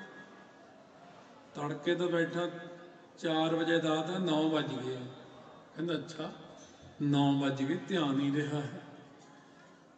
ਧਿਆਨ ਕਿੱਥੇ ਸੀ? ਧਿਆਨ ਤਾਂ ਉੱਥੇ ਸੀ। ਧੁਨ ਮਹਿ ਧਿਆਨ। ਧਿਆਨ ਮਹਿ ਜਾਂਦਿਆ ਧਿਆਨ ਤਾਂ ਧੁਨੀ ਵਿੱਚ ਸੀਗਾ। ਜਬ ਜੀ, ਸਾ- ਸਾਰੇ ਬੈਠੇ ਆ, ਤੁਸੀਂ ਹੁਣ ਅੱਧੀ ਅੱਧੀਆਂ ਪੌਣੀਆਂ ਪੌਣੀਆਂ ਉਮਰਾਂ ਵਧਾਈ ਬੈਠੇ ਹੋ। ਹਾਲਾਂ ਵੀ ਕਿੰਨੀ ਕਿੰਨੀ ਉਮਰ ਦੇ ਬਜ਼ੁਰਗ ਕਹੀ ਜਾਣਗੇ ਮਨ ਨਹੀਂ ਜੁੜਦਾ ਬਾਣੀ ਦੇ ਵਿੱਚ, ਮਨ ਜੇ ਹੁਣ ਜੋੜਿਆ ਹੀ ਨਹੀਂ ਤਾਂ ਹੁਣ ਤੁਸੀਂ ਕਦ ਜੋੜਨਾ ਜਾ ਕੇ। ਸਾਰੇ ਤੁਸੀਂ ਬ੍ਰਹਮ ਗਿਆਨੀ ਬਣ ਸਕਦੇ ਹੋ ਸਾਰੇ। ਸਾਰੇ ਸਿਰੇ ਲੱਗ ਸਕਦੇ ਹੋ। ਸਾਰੇ ਉਸ ਅਵਸਥਾ ਜਾ ਸਕਦੇ ਹੋ। ਪਰ ਐਸਾ ਭਿਆਨਕ ਕਲਯੁਗ ਦਾ ਇਹ ਸਮਾਂ, ਐਸਾ ਭਾਰ ਪੈ ਗਿਆ ਮਾਇਆ ਦਾ। ਐਸਾ ਪਦਾਰਥਾਂ ਨੇ ਹਰੇਕ ਨੂੰ ਖਿੱਚ ਲਿਆ ਹੈ ਕਿ ਧਿਆਨ ਹੀ ਨਹੀਂ ਲੱਗਦਾ ਸ਼ਬਦ ਵਿੱਚ। ਕਿਉਂ? ਸਤਿਗੁਰੂ ਮਹਾਰਾਜ ਨੇ ਜਿਹੜਾ ਬਚਨ ਕੀਤਾ ਸੀ, ਸਾਰਿਆਂ ਨੂੰ ਜਿਵੇਂ ਪਹਿਲਾਂ ਵੀ ਦੱਸਿਆ ਸੰਗਤਾਂ ਨੂੰ ਕਈ ਵਾਰੀ, ਕਿਸੇ ਮਹਾਤਮਾ ਨੇ ਬੇਨਤੀ ਕੀਤੀ, ਮਹਾਰਾਜ ਦੇ ਚਰਨਾਂ 'ਚ ਵੀ, ਮਹਾਰਾਜ ਸਿੱਖ ਕੌਮ ਦੀ ਕੋਈ ਬਾਹ ਫੜੋ ਹੋਣਾ, ਰੁਲੇ ਫਿਰਦੇ ਸਾਰੇ। ਮਹਾਰਾਜ ਅੱਗੇ ਜਵਾਬ ਕੀ ਦਿੰਦੇ? ਕਹਿੰਦੇ, ਇਹਨਾਂ ਦੀ ਗੱਲ ਕਰਦੇ ਹੋ, ਆਹ ਜਿਹੜੇ ਸਿੱਖ ਬੈਠੇ। ਇਹ ਕੋਈ ਸਿੱਖ ਨੇ? ਇਹ ਮੇਰੇ ਸਿੱਖ ਤਾਂ ਨਹੀਂ ਹੈਗੇ। ਕਿਹੜਾ ਸਿੱਖ ਹੈ ਇਹਨਾਂ ਚ? ਦਿਖਾਵੇ ਤਾਂ। ਕਿਹਨੇ ਮੇਰਾ ਬਚਨ ਕਮਾਇਆ? 1699 ਤੋਂ ਲੈ ਕਰਕੇ 1708 ਤੱਕ ਜਿੰਨੀ ਮਰਿਆਦਾ ਨੂੰ ਖੜਾ ਕੀਤਾ 239 ਵਰਿਆਂ ਦੇ ਵਿੱਚ ਜਿੰਨਾ ਅਸੀਂ ਗੁਰਬਾਣੀ ਵਿੱਚ ਉਪਦੇਸ਼ ਕੀਤਾ, ਇਹ ਉਹਨਾਂ ਚੋਂ ਕਮਾਉਣ ਵਾਲਾ ਹੈਗਾ ਇਹਨਾਂ ਚੋਂ ਕੋਈ? ਜਿੰਨੀਆਂ ਅਸੀਂ ਕਹੀਆਂ ਸੀ, ਮਰਿਆਦਾਵਾਂ ਉਹਨਾਂ ਨੂੰ ਕਮਾਉਣ ਵਾਲਾ ਕੋਈ ਇਹਨਾਂ ਚੋਂ ਹੈਗਾ? ਕਹਿੰਦੇ ਕੋਈ ਪਤਾ ਨਹੀਂ ਲੱਖਾਂ ਚੋਂ ਇੱਕ ਜਾਣਾ ਕਿਤੇ ਬੈਠਾ ਹੋਵੇ, ਵੱਖਰੀ ਗੱਲ ਹੈ, ਪਰ ਸਾਡੇ ਤੇ ਭਾਵਨਾ ਨਹੀਂ, ਮਰਿਆਦਾ ਨਹੀਂ, ਕੋਈ ਕਕਾਰਾਂ ਦੀ ਕੋਈ ਭਾਵਨਾ ਨਹੀਂ, ਸਾਰੀਆਂ ਚੀਜ਼ਾਂ ਤੋਂ ਇਹ ਟੁੱਟੇ ਬੈਠੇ ਨੇ। ਇਹ ਜੁੜੇ ਨਹੀਂ ਹੋਏ। ਭਾਵਨਾ ਨਹੀਂ ਹੈ ਇਹਨਾਂ ਦੇ ਅੰਦਰ। ਇਸ ਕਰਕੇ ਆਪਾਂ ਇਹ ਚੀਜ਼ ਦਾ ਧਿਆਨ ਦਿਓ। ਇਹ ਵੀ ਇੱਕ ਅੰਦਰਲੀ ਕਲਾ ਜਾਗਦੀ ਹੈ। ਅੰਦਰਲੀ ਕਿਰਪਾ ਹੁੰਦੀ ਜਦੋਂ ਸ਼ਬਦ ਦੇ ਵਿੱਚ ਸੁਰਤ ਜੋੜ ਕੇ ਪਾਠ ਚੱਲਦਾ ਹੈ, ਨਾਲ ਨਾਲ ਅਰਥਾਂ ਦੀ ਵਿਚਾਰ ਚੱਲਦੀ ਹੈ। ਕਈ ਕਹਿਣਗੇ ਜੇ ਅਰਥ ਨਾ ਆਉਂਦੇ ਹੋਣ, ਨਾ ਆਉਂਦੇ ਹੋਣ ਤਾਂ ਕੱਲਾ ਪਾਠ ਹੀ ਸੁਣੀ ਜਾਓ। ਕੋਈ ਜ਼ਰੂਰੀ ਵੀ ਸਾਨੂੰ ਵੀ ਸਾਰੇ ਹੀ ਅਰਥ ਆਉਂਦੇ ਨੇ। ਕਈ ਵਾਰ ਨਹੀਂ ਵੀ ਆਉਂਦੇ, ਪਰ ਘੱਟੋ ਘੱਟ ਆਪਣੀ ਸੁਰਤ ਨੂੰ ਟਿਕਾ ਕੇ ਪਾਠ ਕਰੀ ਜਾਓ ਕਰੀ ਜਾਓ ਕਰੀ ਜਾਓ। ਸੁਰਤ ਬਾਹਰ ਨਾ ਜਾਣ ਦਿਓ, ਜੁੜੇ ਰਹੋ ਜੁੜੇ ਰਹੋ। ਸਿਰਫ ਅੰਮ੍ਰਿਤ ਵੇਲੇ ਇੱਕ ਜਪਜੀ ਸਾਹਿਬ ਦੇ ਨਾਲ ਹੀ ਇੰਨਾ ਸਰੀਰ ਹਲਕਾ ਹੋ ਜਾਣਾ। ਜਾਪ ਸਾਹਿਬ ਚ ਜੁੜੇ ਬੈਠੇ ਰਹੋ। ਸਈਏ ਚੌਪੀ ਸਾਹਿਬ, ਹਮਰੀ ਕਰੋ ਹਾਥ ਦਾ ਰੱਛਾ, ਪੂਰਨ ਹੋਏ ਜਿਤ ਕੀ ਇੱਛਾ। ਆਨੰਦ ਸਾਹਿਬ, ਜੁੜੇ ਰਹੋ। ਹੁਣ ਤੁਹਾਡੇ ਮਨ ਅੰਦਰ ਕੀ ਹੈ? ਵੀ ਉਹ ਫਿਰ ਜੇ ਇੰਨਾ ਕੀਤਾ, ਫਿਰ ਉਹ ਟਾਈਮ ਬਹੁਤਾ ਲੱਗ ਜਾਣਾ, ਫਿਰ ਉਹ ਫਲਾਣੇ ਕੰਮ ਰਹਿੰਦੇ ਨੇ ਕਰਨ ਵਾਲੇ। ਫਿਰ ਉਹ ਕੰਮ ਕੌਣ ਕਰੂਗਾ? ਫਿਰ ਆਹ ਕੰਮ ਕੌਣ ਕਰੂਗਾ? ਤਾਂ ਹਰ ਸਾਲ ਇਹ 92ਵੀਂ ਬਰਸੀ ਆ ਹੁਣ। ਤੇ ਹਰ ਸਾਲ ਇਹ ਗੱਲ ਤੁਸੀਂ ਸੁਣਦੇ ਹੋ ਤੇ ਇਤਿਹਾਸ ਇਹ ਪੜ੍ਹਦੇ ਹੋ ਕਿ ਬਾਬਾ ਮੱਗਰ ਸਿੰਘ ਜੀ, ਉਹ ਬਾਬਾ ਕਰਮ ਸਿੰਘ ਜੀ, ਹੋਤੀ ਮਰਦਾਨ ਵਾਲੇ, ਉਹ ਬਾਬਾ ਜਵਾਲਾ ਸਿੰਘ ਜੀ ਹਰਖੋਵਾਲ ਵਾਲੇ। ਕਿੰਨੇ ਮਹਾਪੁਰਖ ਮਿਲਟਰੀ 'ਚ ਰਹੇ ਨੇ ਤੇ ਹਰੇਕ ਦਾ ਹੀ ਪਹਿਰਾ ਕਲਗੀ ਧਰਮਾਰਾਂ ਨੇ ਦਿੱਤਾ। ਜੇ ਉਹ ਜੁੜ ਕੇ ਬੈਠੇ ਸੀ ਤਾਂ ਮਿਲਟਰੀ ਦੀ ਡਿਊਟੀ ਨਾਲੋਂ ਸਖਤ ਡਿਊਟੀ ਤਾਂ ਕਿਸੇ ਦੀ ਵੀ ਨਹੀਂ ਹੈਗੀ। ਉਹਨਾਂ ਦੇ ਵਿੱਚ ਤਾਂ ਸੱਚੇ ਪਾਤਸ਼ਾਹ ਨੇ ਪਹਿਰੇ ਦਿੱਤੇ ਹੀ ਨਹੀਂ ਜਾ ਕੇ। ਸੋ ਜਦੋਂ ਜਾ ਕਰਕੇ ਇਹ ਪਹਿਰੇ ਐਸੇ ਹੋ ਗਏ ਅੰਗਰੇਜ਼ ਅਫਸਰ ਕਹਿੰਦਾ ਸਾਰਿਆਂ ਮਹਾਂਪੁਰਖਾਂ ਦੀ ਜਿਗਰ ਹੀ ਆਉਂਦੀ ਹੈ। ਸਾਰਾ ਜਿਗਰ। ਕਹਿੰਦੇ ਵੀ ਅੱਜ ਅੱਜ ਤੇਰੀ ਬੈਲਟ ਬੜੀ ਲਿਸ਼ਕਦੀ ਸੀ। ਅੱਜ ਬੜੀ ਸੋਹਣੀ ਪ੍ਰੈਸ ਕੀਤੀ, ਪੈਂਟ ਪਾਈ ਬੂਟ ਵੀ ਬੜੇ ਲਿਸ਼ਕਦੇ ਸੀ। ਮੈਂ ਦੇਖਿਆ ਤੈਨੂੰ ਲੋਕ ਲੋਕ ਕਿ ਤੂੰ ਪਹਿਰੇ ਦੇ ਉੱਤੇ ਵੀ ਸਾਵਧਾਨ ਖੜਾ ਸੀ। ਅੱਗੇ ਤਾਂ ਮਾੜਾ ਜਿਹਾ ਆਲਸ ਕਰ ਜਾਂਦਾ। ਮੈਂ ਮੈਨੂੰ ਸੋਹਣਾ ਵੀ ਬੜਾ ਲੱਗਦਾ ਸੀ। ਉਹ ਕਹਿੰਦਾ, ਮੈਂ ਤਾਂ ਇੱਥੇ ਬੈਠਾ ਸੀ ਕਮਰੇ 'ਚ। ਇਹਨੂੰ ਸੋਹਣਾ ਲੱਗਦਾ ਸੀ। ਮੈਂ ਸੋਚਦਾ ਜੇ ਕੱਢ ਦੇਣਗੇ, ਇਹ ਕਹਿੰਦੇ ਤੈਨੂੰ ਹੌਲਦਾਰ ਬਣਾਉਣਾ। ਇਹ ਗੱਲ ਕੀ ਹੋ ਗਈ ਆ? ਉਹ ਭਗਤ ਸੈਣ ਜੀ ਜਿਵੇਂ, ਆਏ ਸੰਤ ਪ੍ਰਾਹੁਣੇ ਹੋਆ ਕੀਰਤਨ ਰਹਿਣ ਸਬਾਈ, ਘਰੇ ਸੰਤ ਮਹਾਤਮਾ ਆ ਗਏ। ਕੀਰਤਨ ਸ਼ੁਰੂ ਹੋ ਗਿਆ, ਪ੍ਰਮਾਤਮਾ ਦੀ ਮਹਿਮਾ ਜੁੜ ਗਏ, ਪਤਾ ਹੀ ਨਹੀਂ ਲੱਗਿਆ ਰਾਜੇ ਦੀ ਮਾਲਸ਼ ਕਰਨ ਜਾਣੀ ਜੀ ਭੁੱਲੀ ਗਏ। ਚਲੋ ਇਹ ਮਿਲਟਰੀ ਡਿਊਟੀ ਨਾਲ ਫਿਰ ਰਾਜੇ ਦੀ ਡਿਊਟੀ ਤਾਂ ਕੀ ਗਲ ਵੜ ਦੇਣਾ ਰਾਜੇ ਨੂੰ ਤਾਂ ਜੇ ਨਾ ਗਏ ਸਾਰੀ ਰਾਤ ਜੁੜੇ ਰਹੇ। ਸਵੇਰੇ ਯਾਦ, ਓਹੋ, ਰਾਜੇ ਦੀ ਮਾਲਸ਼ ਕਰਨ, ਰਾਜੇ ਨੂੰ ਗਠੀਆ ਹੋਇਆ। ਉਹ ਮਾਲਸ਼ ਕਰਨੀ ਸੀ, ਉੱਠ ਕੇ ਭੱਜੇ ਫਟਾਫਟ। ਰਾਜੇ ਕੋਲ ਪਹੁੰਚੇ, ਦੂਰੋਂ ਹੀ ਲੰਮੇ ਪੈਂਦੇ ਹੋਣ, ਇੱਥੋਂ ਗਲਤੀ ਹੋ ਗਈ, ਮੈਂ ਰਾਤ ਆਇਆ ਨਹੀਂ। ਕਹਿੰਦੇ ਰਹਿਣ ਦਿਓ। ਆ ਜਿਹੜੀ ਮਾਸ ਤੋਂ ਰਾਤ ਕੀਤੀ ਨਾ, ਬਿਮਾਰੀ ਤਾਂ ਉੱਡੀ ਗਈ। ਪਤਾ ਨਹੀਂ ਕਿੱਧਰ ਗਿਆ ਮੇਰਾ ਗਠੀਆ। ਨਾ ਐ ਚੰਗਾ ਭਲਾ ਸਰੀਰ ਹਲਕਾ ਫੁੱਲ ਹੋ ਗਿਆ। ਉੱਠ ਕੇ ਆਪਦਾ ਪੋਸ਼ਾਕਾ ਲਾ ਕੇ ਭਗਤ ਭਗਤ ਸੈਣ ਜੀ ਨੂੰ ਪਾਤਾ ਉਹ ਹੈਰਾਨ ਹੋ ਜਾਂਦੇ ਨੇ। ਮੈਂ ਤਾਂ ਰਾਤ ਆਇਆ ਹੀ ਨਹੀਂ। ਇਹ ਕੌਣ ਆ ਗਿਆ ਫਿਰ ਰਾਤ ਨੂੰ? ਉਹ ਪਰਮੇਸ਼ਰ ਆਪ ਆ ਗਿਆ। ਉਹ ਤੁਸੀਂ ਇੱਥੇ ਬੈਠੇ ਹੋ। ਲਓ ਜੀ 100 ਕੰਮ ਮੈਂ ਘਰ ਦਾ ਤੁਸੀਂ ਨਾ ਸੁਧਰਿਓ। ਤੁਸੀਂ ਸੁਧਰਨਾ ਵੀ ਨਹੀਂ। ਤੇ ਮਹਾਰਾਜ ਨੂੰ ਕਹੀ, ਇਹ ਨਹੀਂ ਸੁਧਰਦੇ। ਕਹਿੰਦੇ, ਇਹਨਾਂ ਨੂੰ ਤੁਰਦੇ ਕਰਦੇ ਆ, ਫਿਰ ਹੋਰ ਬਣਾ ਲੈਣ ਦੁਨੀਆ। ਕਹਿੰਦੇ, ਤੁਰਦੇ ਹੀ ਠੀਕ ਹੈ ਸੁਹਾਗਾ ਸੂਗਾ ਜਿਹਾ ਫੇਰ ਦਿੰਦੇ ਸੁਹਾਗਾ ਫੇਰ ਕੇ ਆਪਾਂ ਹੁਣ ਨਵੇਂ ਲਿਆਉਨੇ ਆ, ਇਹ ਨਹੀਂ ਸੁਧਰਦੇ ਹੁਣ। ਇਹਨਾਂ ਨਾ ਤਾਂ ਮੇਰੇ ਤੇ ਯਕੀਨ ਆ, ਨਾ ਕੋ ਭਰੋਸਾ। ਪਹਿਲਾਂ ਹੋਰ ਹੀ ਕੁਝ ਬੋਲੀ ਜਾਂਦੇ ਆ। ਮਹਾਰਾਜ ਨੇ ਬੱਕਰੇ ਵੱਡੇ ਸੀ, ਪੰਜ ਪਿਆਰਾਂ ਦੇ ਸ਼ੀਸ਼ ਨਹੀਂ ਸੀ ਵੱਡੇ। ਮਹਾਰਾਜ ਨੇ ਇਹ ਰੀਠਾ ਮਿੱਠਾ ਨਹੀਂ ਕੀਤਾ, ਇਹ ਪੰਜਾ ਸਾਹਿਬ ਨਹੀਂ ਲਾਇਆ। ਸਤਿਗੁਰੂ ਮਹਾਰਾਜ ਸੱਚੇ ਪਾਤਸ਼ਾਹ ਦੇ ਉੱਤੇ ਦੇਖੋ, ਕਿੰਤੂ ਪ੍ਰੰਤੂ ਕਰੀ ਜਾਂਦੇ ਨੇ। ਆ ਮਹਾਂਪੁਰਸ਼ਾਂ ਦੇ ਦੇਖ ਲਓ ਵੀ ਉਹਨਾਂ ਦੀ ਡਿਊਟੀ ਪ੍ਰਮਾਤਮਾ ਨੇ ਕੀਤੀ। ਬੜੀਆਂ ਬੜੀਆਂ ਉੱਚੀਆਂ ਅਵਸਥਿਆਂ ਅਵਸਥਾ ਵਾਲੇ ਹੋਣ ਲਈ ਬੈਠੇ। ਇੱਕ ਅੱਧੀ ਵੀ ਗੱਲ ਜੇ ਮੈਂ ਸੰਗਤ ਨੂੰ ਸੁਣਾਤੀ ਨਾ ਕਿਤੇ, ਮੇਰੇ ਮਗਰੀ ਪੈ ਜਾਂਦੇ ਇਹ ਹੋ ਹੀ ਨਹੀਂ ਸਕਦਾ। ਸਾਰਾ ਕੁਝ ਤਾਂ ਹੋ ਹੀ ਜਾਂਦਾ ਤੁਹਾਡੇ ਸਾਹਮਣੇ। ਕਿਹੜਾ ਨਹੀਂ ਹੋ ਸਕਦਾ ਹੈ? ਸਾਰਾ ਕੁਝ ਤਾਂ ਹੋ ਹੀ ਜਾਂਦਾ। ਪਰ ਨਹੀਂ, ਉਹ ਕਹਿੰਦੇ, ਇਹ ਨਹੀਂ ਕਹਿਣਾ ਆਪਾਂ ਸੰਗਤ ਨੂੰ। ਫਿਰ ਸਰਦਾ ਬਣ ਜੂਗੀ। ਬਾਬਾ ਦੀਪ ਸਿੰਘ ਦਾ ਸੀਸ ਨਹੀਂ ਲੱਥਾ ਕਹਿੰਦੇ, ਲੱਥਾ ਨਹੀਂ। ਕਿਉਂਕਿ ਉਹ ਸ਼ਰਧਾ ਬਣ ਜੂਗੀ ਫਿਰ ਸੰਗਤ ਦੀ। ਚਲੋ, ਉਹ ਤਾਂ ਠੀਕ ਹੈ। ਤੇ ਭਾਈ ਮਨੀ ਸਿੰਘ ਦਾ ਬੰਦ ਬੰਦ ਵੀ ਨਹੀਂ ਕੱਟਿਆ ਹੋਣਾ ਫਿਰ। ਹੁਣ ਉੱਥੇ ਕੀ ਕਹੋਗੇ? ਵੀ ਨਹੀਂ ਜੀ, ਉਹ ਤਾਂ ਐਵੇਂ ਉਂਗਲ ਜੀ ਵੱਡੀ ਗਈ ਸੀ। ਉਹ ਤਾਂ ਉਹੀ ਫਿਰ ਬੰਦ ਬੰਦ ਕਹਿਤਾ ਫਿਰ ਐਂ ਕਹਿਣ ਲੱਗ ਜਾਓਗੇ। ਹੁਣ ਕਿ ਨਵਾਂ ਇਤਿਹਾਸ ਰਚਣਾ? ਕਿ ਗੁਰੂ ਨਾਨਕ ਦੇਵ ਜੀ ਬੇਈ ਨਦੀ ਰਾਹੀਂ ਪ੍ਰਵੇਸ਼ ਹੋਏ। ਹੌਲੀ ਕਿਤੇ ਨੇ ਪਰਲੇ ਪਾਸੇ ਨਿਕਲ ਕੇ ਤਿੰਨ ਦਿਨ ਝਾੜੀਆਂ ਉਹਲੇ ਬੈਠੇ ਰਹੇ, ਫਿਰ ਆ ਗਏ। ਆ ਹੁਣ ਨਵਾਂ ਲਿਖਣ ਲੱਗੇ ਆ। ਬਸ ਜੁੱਤੀਆਂ ਦੀ ਕਸਰ ਹੈ ਹੋਰ ਤਾਂ ਕੋਈ ਗੱਲ ਨਹੀਂ। ਚਲੋ ਤਾਂ ਫੇਰੀ ਜਾਣੀ ਹੈ। ਸਾਡੀ ਤਾਂ ਜੁੱਤੀ ਹੋਈ ਛੋਟੀ ਹੈ। ਉਹ ਜਿਹੜਾ ਜੁੱਤਾ ਫਿਰਨਾ ਨਾ ਵੱਡਾ, ਉਹ ਜੁੱਤੇ ਨੇ ਸੈੱਟ ਕਰਨੇ ਦਿਮਾਗ ਸਾਰਿਆਂ ਦੇ ਫਿਰ। ਪੁੱਠੀਆਂ ਗੱਲਾਂ ਕਰੀ ਜਾਂਦੇ ਮਹਾਰਾਜ ਸੱਚੇ ਪਾਤਸ਼ਾਹ ਵਾਸਤੇ। ਇਸ ਕਰਕੇ ਆ ਜੀ ਭਾਵਨਾ ਦੇ ਨਾਲ ਸਾਰੀ ਗੱਲ ਜਿਹੜੀ ਹੋਣੀ ਆ, ਇਹ ਗੱਲ ਨੂੰ ਸਮਝੋ ਵੀ ਆਪਾਂ ਆਉਂਦੇ ਸਾਲ ਨੂੰ ਸਵਾ ਸਵਾ ਲੱਖ ਮੂਲ ਮੰਤਰ ਕਰਕੇ ਆਉਣਾ, ਆਉਂਦੇ ਦੀਵਾਨ ਚ ਫੇਰ ਜਾਂਦੇ ਸਾਲ ਨੂੰ ਸਵਾ ਲੱਖ ਮੂਲ ਮੰਤਰ ਕਰੋ, ਸਵਾ ਲੱਖ ਬ੍ਰਹਮ ਕਵਚ ਕਰ ਲਓ ਸਾਲ ਚ, ਚਾਰ ਮਾਲਾ ਰੋਜ਼ ਕਰਕੇ। ਮੂਲ ਮੰਤਰ ਦਾ ਅਭਿਆਸ ਕਰੋ। ਟਿਕਾ ਦੇ ਨਾਲ ਜਪਜੀ ਸਾਹਿਬ ਦਾ, ਸੁਖਮਨੀ ਸਾਹਿਬ ਦਾ ਪਾਠ ਸਾਰੀ ਸੰਗਤ ਕਰੋ। ਮਹਾਪੁਰਖ ਵੀ ਸਾਡੇ ਵਿੱਚੋਂ ਹੀ ਸੀ। ਉਹਨਾਂ ਨੇ ਅਭਿਆਸ ਕੀਤਾ। ਜਦ ਬਾਬਾ ਜੀ ਨੂੰ ਅਵਸਥਾ ਪੁੱਛੀ ਸੀ, ਤਾਂ ਬਾਬਾ ਆਤਰ ਸਿੰਘ ਜੀ ਦਾ ਜਵਾਬ ਕੀ ਸੀ? ਬਾਬਾ ਆਤਰ ਸਿੰਘ ਜੀ ਵਸਤੂਆਣੇ ਵਾਲੇ, ਬਾਬਾ ਸੁੰਦਰ ਸਿੰਘ ਜੀ ਖਾਲਸਾ ਪਿੰਡਰਾਂ ਵਾਲੇ, ਬਾਬਾ ਮੱਗਰ ਸਿੰਘ ਜੀ ਰਾਮਗੜ੍ਹ ਵਾਲੇ, ਤਿੰਨੋਂ ਇਕੱਠੇ ਹੀ ਜ਼ਿਆਦਾ ਵਿਚਰਦੇ ਸੀ। ਇਕੱਠੇ ਹੋ ਜਾਣਾ ਬਹੁਤ ਵਾਰੀ ਵਿਚਾਰਾਂ ਕਰਨੀਆਂ। ਸਾਰਿਆਂ ਨੇ ਆਪਣੀ ਆਪਣੀ ਅਵਸਥਾ ਦੱਸੀ।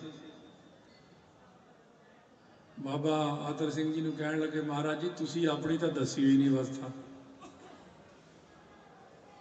ਜੇ ਬਹੁਤ ਜ਼ੋਰ ਪਾਇਆ ਤਾਂ ਕਹਿੰਦੇ ਬਸ ਐ ਸਮਝ ਲਓ ਵੀ ਸਾਰਾ ਜਿਹੜਾ ਪਿਆਜ਼ ਦੇ ਭੂਕਾਂ ਛਿਲਕੇ ਛੁਲਕੇ ਤਾਂ ਖਤਮ ਹੋ ਗਿਆ। ਗੰਢੇਲ ਜੀ ਰਹਿ ਗਈ ਕੱਲੀ ਕੀ ਗੰਢੇਲ ਹੁੰਦੀ ਹੈ ਕੱਲੀ ਆਤਮਾ ਹੀ ਰਹਿ ਗਈ ਬਸ। ਆ ਪਿਛਲੀ ਵਾਰ ਵੀ ਆਪਾਂ ਇਹ ਚੀਜ਼ ਦੇ ਉੱਤੇ ਵਿਚਾਰ ਕੀਤੀ ਸੀ। ਸੋ ਇੱਛਾ ਚਲੋ ਪੈਦਾ ਹੋ ਗਈ ਸੋ ਵਿਚਾਰਨਾ ਮਨ ਦੇ ਅੰਦਰ।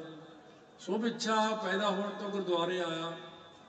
ਇਸ਼ਨਾਨ ਕਰ ਲਾਂ, ਸੇਵਾ ਕਰਾਂ, ਮੈਂ ਵੀ ਆ ਕਰਾਂ, ਪਰ ਸ਼ੁਭ ਵਿਚਾਰ ਨਾ ਆਈ ਬੈਠੇ ਬੈਠੇ ਇੱਕ ਦਿਨ ਅੰਦਰੋਂ ਹੀ ਪ੍ਰੇਰਣਾ ਹੋਈ ਇਹ ਇਹ ਫਿਰ ਬੰਦਾ ਮਰ ਕੇ ਕਿੱਥੇ ਜਾਂਦਾ? ਪਿੱਛੋਂ ਮੈਂ ਕਿੱਥੋਂ ਆਇਆ? ਮੈਂ ਕੌਣ ਆ? ਜਦ ਬਾਣੀ ਸ਼ਰਵਣ ਕਰਦਾ ਤੇ ਵਿਚਾਰਾਂ ਆਉਂਦੀਆਂ ਹੀ ਨੇ। ਫਿਰ ਮਨ ਦੇ ਟਿਕਾਅ ਦੀ ਗੱਲ ਆਉਂਦੀ ਹੈ। ਫਿਰ ਮੋਹ ਤੇ ਮਾਇਆ ਦਾ ਨਿਵਰਤੀ ਅੰਸ਼ ਸ਼ਕਤ ਨੂੰ ਦੂਰ ਕਰਦਾ। ਫਿਰ ਜਿਹੜੀ ਚੀਜ਼ ਆਉਂਦੀ ਮਨ ਦੇ ਅੰਦਰ, ਸਤਵਾ ਪਤ 42 ਭਾਵ ਫੁਰਦੇ ਜਿਵੇਂ ਜਾਗਦੇ ਬੰਦੇ ਨੂੰ, ਸੁੱਤੇ ਹੋਏ ਬੰਦੇ ਨੂੰ ਕੋਈ ਗੱਲ ਦਾ ਪਤਾ ਨਹੀਂ, ਕੋਲੋਂ ਭਾਵੇਂ ਸਾਰਾ ਸਮਾਨ ਚੱਕ ਕੇ ਲੈ ਜਾਓ, ਸੁੱਤੇ ਬੰਦੇ ਨੂੰ ਕੁਝ ਨਹੀਂ ਪਤਾ ਲੱਗਦਾ। ਜਦੋਂ ਜਾਗਦਾ ਤਾਂ ਪਤਾ ਲੱਗਦਾ ਵੀ ਮੇਰੇ ਕੋਲ ਸਮਾਨ ਚੁੱਕਿਆ ਗਿਆ। ਛੋਟੇ ਹੁੰਦੇ ਆ ਹੁਣ ਵਾਲੇ ਤਾਂ, ਹੁਣ ਤਾਂ ਆਪਾਂ ਅੰਦਰ ਹੀ ਸੌਂਦੇ ਆ ਪੱਖੇ ਲਾ ਕੇ ਸੌਂਦੇ ਆ ਸਾਡੇ ਵੇਲੇ ਪਿੰਡਾਂ 'ਚ ਸੌਂਦੇ ਹੁੰਦੇ ਸੀ, ਕੋਠੇ ਤੇ ਮੰਜਾ ਢਾ ਕੇ। ਪਹਿਲਾਂ ਕੋਈ ਡਰ ਜਿਹਾ ਨਹੀਂ ਸੀ ਲੱਗਦਾ ਹੁੰਦਾ। ਸੜਕਾਂ ਦੇ ਉੱਤੇ ਮੰਜੇ ਢਾ ਕੇ ਸੌਣ, ਬਾਹਰ ਬੀਹੀ 'ਚ ਮੰਜਾ ਢਾ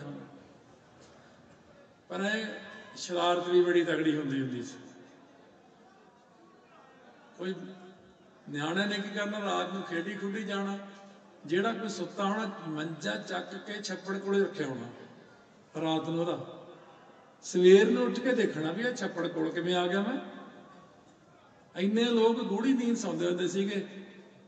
ਕਿਹੜਾ ਝੋਟੇ ਦੇ ਪੂਛ ਨੂੰ ਕਿਸੇ ਦੇ ਰੱਸੀ ਬੰਨਤੀ ਮੰਜੇ ਦੀ, ਉਹ ਝੋਟਾ ਭਜਾਦਾ ਝੋਟਾ ਜਾ ਕੇ ਛੱਪੜ ਚੜ ਗਿਆ, ਵਿੱਚ ਹੀ ਬੰਦੇ ਲੈ ਡੁੱਬਿਆ ਐ ਜਦੋਂ ਸ਼ਰਾਰਤਾਂ ਕਰਦੇ ਹੁੰਦੇ ਪਹਿਲਾਂ ਖੇਦੋ ਖੁੰਡੀ ਖੇਡਦੇ ਜਾ ਹੁਣ ਤਾਂ ਬਹੁਤ ਜ਼ਮਾਨੇ ਬਦਲ ਗਏ ਆ। ਪੁਰਾਣੇ ਜ਼ਮਾਨੇ ਦੀ ਮੈਂ ਗੱਲ ਕਰਦਾ।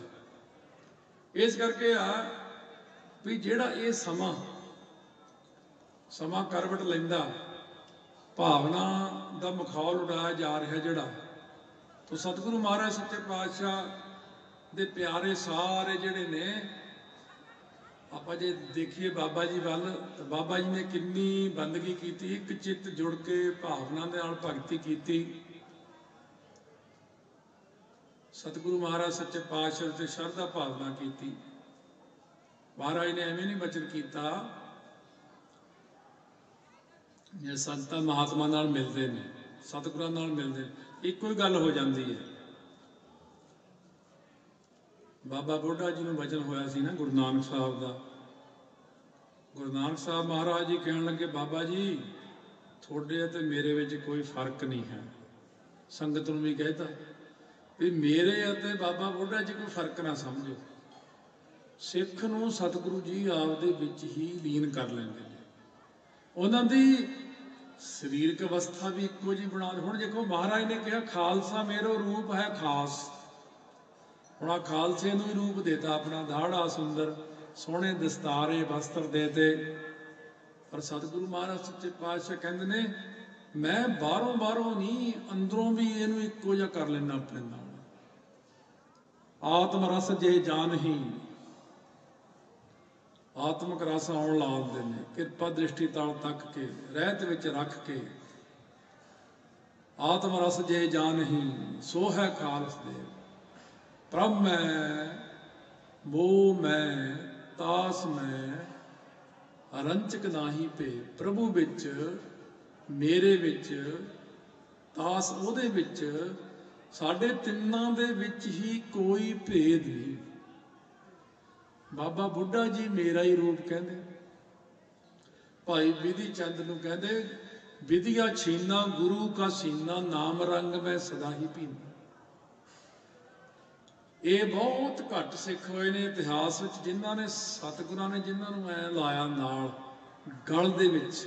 ਪ੍ਰਭ ਮੋਏ ਕਬ ਗੱਲ ਨਾਮ ਹੈ ਬਾਬਾ ਬੁੱਢਾ ਜੀ ਨੂੰ ਆਪਣੇ ਗਲ ਨਾਲ ਲਾਇਆ। ਥੋੜੇ ਹੀ ਨਹੀਂ ਭਾਈ, ਮੰਝ। ਮੰਝ ਪਿਆਰਾ ਗੁਰੂ ਨੂੰ ਗੁਰ, ਮੰਝ ਪਿਆਰਾ, ਮੰਝ ਗੁਰੂ ਕਾ ਬੋਹਿਥਾ ਜਗ ਲੰਘਣ ਹਾਰਾ। ਪੰਜਵੇਂ ਪਾਤਸ਼ਾਹ ਨੇ ਭਾਈ ਮੰਝ ਨੂੰ ਗਲ ਨਾਲ ਲਾਇਆ ਛੇਵੇਂ ਪਾਤਸ਼ਾਹ ਨੇ ਭਾਈ ਵਿਧੀ ਚੰਦ ਨੇ ਜਦੋਂ ਦੋਨੋਂ ਘੋੜੇ ਕੱਢ ਕੇ ਲਿਆਂਦੇ ਤਾਂ ਗਾਲ ਨਾਲ ਲਾਇਆ ਭਾਈ ਰੂਪੇ। ਫਿਰ ਹੋਰ ਕਿਹਨੂੰ ਗਾਲ ਨਾਲ ਲਾਇਆ? ਰੰਗਰੇਟੇ ਗੁਰੂ ਕੇ ਬੇਟੇ, ਜਦੋਂ ਨੌਵੇਂ ਪਾਤਸ਼ਾਹ ਸੀਸ ਲੈ ਕੇ ਭਾਈ ਜੈਤਾ ਜੀ ਆਏ ਨੇ, ਉਹਨਾਂ ਨੂੰ ਗਲ ਨਾਲ ਲਾਇਆ, ਪੰਜਾਂ ਪਿਆਰਾਂ ਨੂੰ ਸੀਨੇ ਨਾਲ ਲਾਇਆ, ਭਾਈ ਸੰਗਤ ਸਿੰਘ ਜੀ ਨੂੰ ਲਾਇਆ ਜਾਣ ਵੇਲੇ। ਚੰਦਕ ਸਿੱਖ ਨੇ ਜਿਨ੍ਹਾਂ ਨੂੰ ਸਤਿਗੁਰਾਂ ਨੇ ਗਲ ਨਾਲ ਕਿਹਨੂੰ ਲਾਉਂਦੇ ਨੇ? ਬੜੇ ਲੋਕ ਕਹਿੰਦੇ ਅਭੇਦ ਪੁਰਸ਼ ਨੇ ਇਹ। ਨਹੀਂ, ਆਹੀ ਇਹ ਭੇਦ ਨੇ। ਜਿਨ੍ਹਾਂ ਨੂੰ ਛਾਤੀ ਨਾਲ ਲਾ ਲਿਆ ਨਾ ਉੱਟ ਕੇ, ਉਹਨੂੰ ਕਹਿੰਦੇ ਅਭੇਦ ਪੁਰਸ਼ ਕਿ ਉਹਦੇ ਵਿੱਚ ਤੇ ਮਹਾਰਾਜ ਵਿੱਚ ਕੋਈ ਫ਼ਰਕ ਨਹੀਂ ਰਹਿ ਜਾਂਦਾ।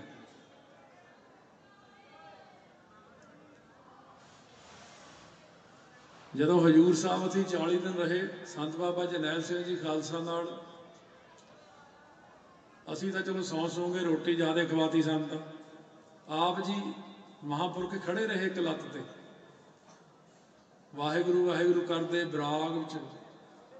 ਆਸ ਚੋਗਾ ਭਿੱਜ ਗਿਆ। ਜਦੋਂ ਮਾਤਾ ਸਾਹਿਬ ਕੌਰ ਜੀ ਇਹ ਸਾਹਮਣੇ ਨਿਕਲ ਕੇ ਆਏ ਨਾ ਮਹਿਲਾ ਚੋਂ, ਸੰਤ ਕਹਿੰਦੇ, ਮੈਨੂੰ ਆ ਕੇ ਮਾਤਾ ਜੀ ਨੇ ਐ ਗਲ ਵਿੱਚ ਘੁੱਟ ਲਿਆ ਜਿਵੇਂ ਉਹਨਾਂ ਨੇ ਮਿਲਾਇਆ। ਕੋਈ ਕੋਈ ਨਹੀਂ ਜਿਨ੍ਹਾਂ ਨੂੰ ਗਲ ਨਾਲ ਲਾਉਂਦੇ ਨੇ। ਆ ਮੇਰਾ ਪਿਆਰਾ ਪੁੱਤ। ਸੰਤ ਕਹਿੰਦੇ, ਮੇਰਾ ਸਰੀਰ ਪੱਟਣ ਵਾਲਾ ਹੋ ਗਿਆ ਸੀ। ਇੰਨੀ ਖੁਸ਼ੀ ਹੋਈ ਮੇਰੇ ਸਰੀਰ ਨੂੰ। ਸੋ ਸਾਧ ਸੰਗਤ ਜੀ ਸਾਰਿਆਂ ਨੂੰ ਗੱਲ ਨਾਲ ਨਹੀਂ ਲਾਉਂਦੇ। ਬੜੀਆਂ ਬੜੀਆਂ ਗੱਲਾਂ ਰਹਿ ਜਾਂਦੀਆਂ ਵਿੱਚ, ਕਈ ਚੀਜ਼ਾਂ। ਮੇਰੀ ਗੱਲ ਨੂੰ ਤੁਸੀਂ ਜੇ ਐਸ ਜਨਮ ਚ ਸਮਝੋ ਸਮਝੋ 20 ਸਾਲਾਂ ਨੂੰ 10 ਨੂੰ 30 ਨੂੰ 40 ਨੂੰ, ਅਗਲੇ 10 ਜਨਮਾਂ ਚ, ਅਗਲੇ 100 ਜਨਮਾਂ ਚ ਵੀ ਸਮਝੋ, ਤਾਂ ਅੱਜ ਕਹਿ ਦਿੰਦਾ ਗੱਲ ਜਿਹੜੀ ਸੱਚਖੰਡ ਵਿੱਚ ਮਰਿਆਦਾ ਸਾਰੀ ਆ ਜਿਹੜੀ ਸ਼ਹੀਦਾਂ ਸਿੰਘਾਂ ਦੀ ਸਾਰੀ ਮਰਿਆਦਾ, ਜੇ ਤੁਸੀਂ ਅਪਣਾਉਣੀ ਆ ਵੀ ਇਹ ਸੱਚਖੰਡ ਕੈਸੀ ਮਰਿਆਦਾ, ਤਾਂ ਟਕਸਾਲ ਉਹੀ ਚੀਜ਼ ਹੈ ਟਕਸਾਲ ਉਹਨਾਂ ਦੀ ਆਪਣੀ ਨਿੱਜੀ ਜਾਇਦਾਦ ਆ ਦਸਵੇਂ ਪਾਤਸ਼ਾਹ ਦੀ। ਇਹੀ ਮਰਿਆਦਾ ਸਾਰੇ ਸ਼ਹੀਦ ਸਿੰਘ ਕਮਾਉਂਦੇ ਆ। ਠੀਕ ਆ, ਟਕਸਾਲ ਦੇ ਹੋਣ ਵਾਲੇ ਸਿੰਘ ਢਿੱਲੇ ਪੈ ਜਾਣਗੇ ਉਹਦੇ ਚ। ਪੈ ਸਕਦੇ ਆ ਵੀ ਉਹ ਮਰਿਆਦਾ ਵਿੱਚ ਘਾਟਾਂ ਪੈ ਜਾਂਦੀਆਂ ਨੇ। ਪਰ ਇੰਨੀ ਇੱਕ ਤਾਂ ਸਿੱਖਾਂ ਦੇ ਘਰੇ ਜਨਮ ਲੈਣਾ, ਇੱਕ ਅੰਮ੍ਰਿਤ ਛਕਣਾ, ਇੱਕ ਰਹਿਤ ਰੱਖਣੀ, ਇੱਕ ਸੁੱਚਮ ਬਾੜੀ ਰੱਖਣੀ। ਪੂਰਨ ਪੁਰਖ ਜਿੰਨਿਆਂ ਦੀ ਨਿਸ਼ਾਨੀ ਇਹੀ ਹੋਊਗੀ ਕਿ ਸੁੱਚਮ ਬਹੁਤ ਹੀ ਜ਼ਿਆਦਾ ਰੱਖਦੇ ਨੇ। ਆਪਾਂ ਜਿਹੜੇ ਕਲਯੁਗੀ ਜੀਵ ਆ, ਪਖੰਡੀ ਲੋਕ ਆ ਆਪਾਂ ਹਰੇਕ ਗੱਲ ਨੂੰ ਕਹਿੰਦੇ ਇਹ ਤਾਂ ਪਖੰਡ ਹੈ, ਇਹਦਾ ਕੀ ਹੈ, ਇਹ ਤਾਂ ਐਵੇਂ ਹੀ ਹੈ। ਤਾਈਆਂ ਫਿਰ ਕਿਹੜਾ ਤੁਸੀਂ ਸਾਰੇ ਬ੍ਰਹਮ ਗਿਆਨੀ ਬਣ ਗਏ ਕਹਿਣ ਵਾਲਾ ਕਿਹੜਾ ਬ੍ਰਹਮ ਗਿਆਨੀ ਬਣਿਆ? ਕੋਈ ਸਿਰੇ ਲੱਗਿਆ ਤੁਹਾਡੇ ਚੋਂ? ਇੱਕ ਦੋ ਬੈਠੇ ਹੋਣੇ ਵਿੱਚ, ਮਾੜੀ ਮੋਟੀ ਪ੍ਰਕਾਸ਼ ਹੁੰਦਾ ਹੋਣਾ ਉਹਨਾਂ ਨੂੰ। ਇਹ ਗੱਲ ਦੀ ਵਿਚਾਰ ਕਰੋ ਵੀ ਸਾਡੇ ਚ ਕੋਈ ਸਿਰੇ ਲੱਗਿਆ। ਹੋਰ 20 ਸਾਲ ਕੱਢ ਲਓ, ਫਿਰ ਬੁੜੇ ਬੜੇ ਜੇ ਹੋ ਜਾਓਗੇ, ਫਿਰ ਚੜਾਈਆਂ ਕਰ ਜਾਓ ਕੋਈ ਸਿਰੇ ਤਾਂ ਲੱਗ ਕੇ ਜਾਓ। ਪੱਲੇ ਬੰਨ ਲਓ ਮੇਰੀ ਗੱਲ। ਕਿਉਂਕਿ ਗੁਰਮੁਖਾਂ, ਮਹਾਂਪੁਰਖਾਂ ਨਾਲ ਮੇਲ ਮਿਲਾਪ ਸਾਡੇ ਹੁੰਦੇ ਰਹਿੰਦੇ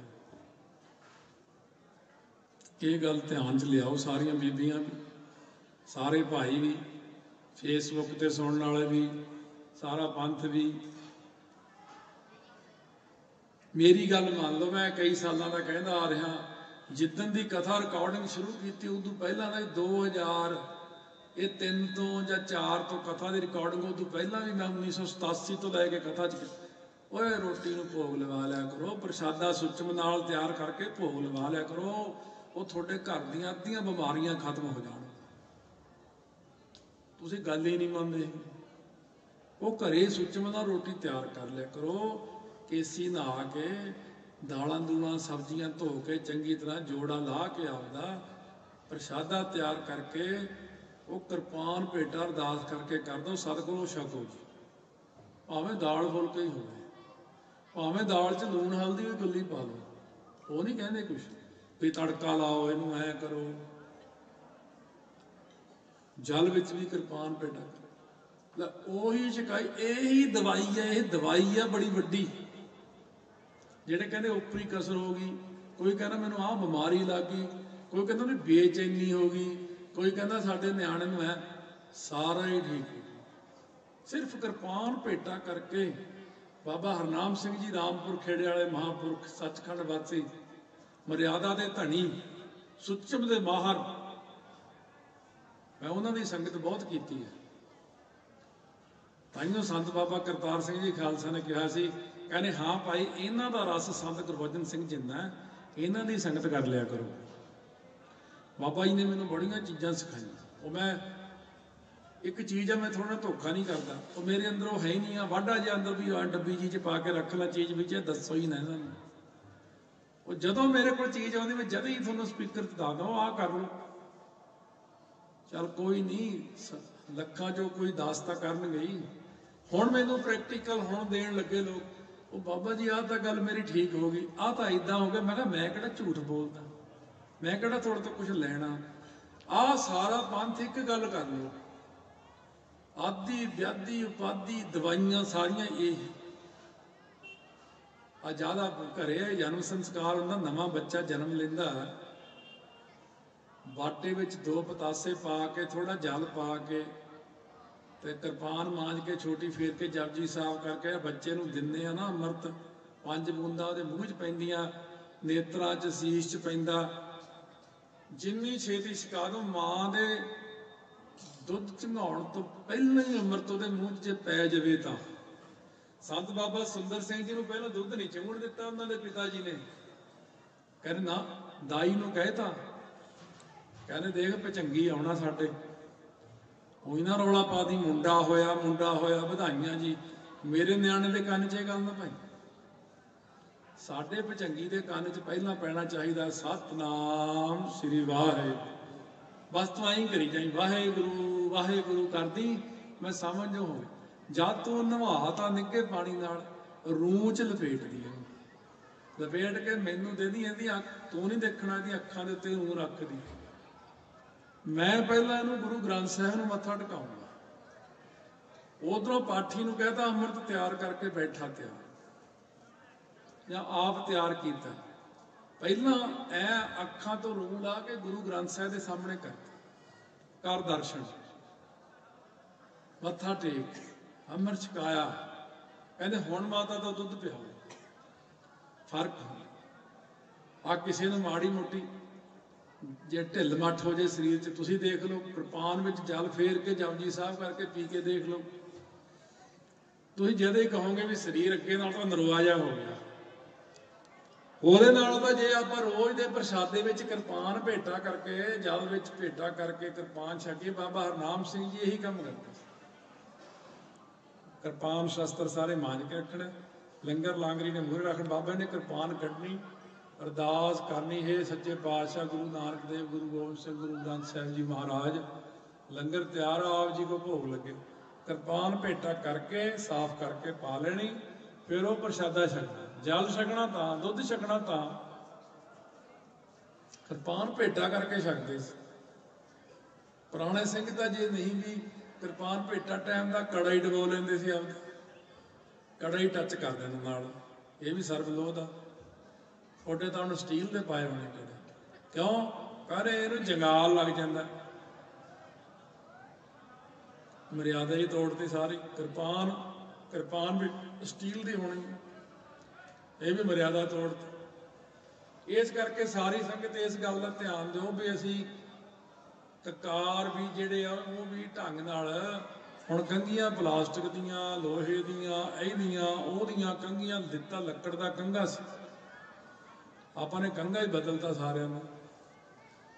ਕਿਰਪਾਨ ਜਿਹੜੀ ਹੈ ਜਿਹੜਾ ਕੜਾ ਹੈ, ਇਸ ਢੰਗ ਦੇ ਨਾਲ ਇਹਨਾਂ ਚੀਜ਼ਾਂ ਨੂੰ ਤੁਸੀਂ ਸਾਰੇ ਜਾਣੇ ਕਕਾਰਾਂ ਦਾ ਧਿਆਨ ਰੱਖੋ ਸਾਰੀ ਸੰਗਤ। ਕਿਰਪਾਨ ਭੇਟਾ ਕਰਕੇ ਸਭ ਨੇ ਪ੍ਰਸ਼ਾਦਾ ਛਕਣਾ।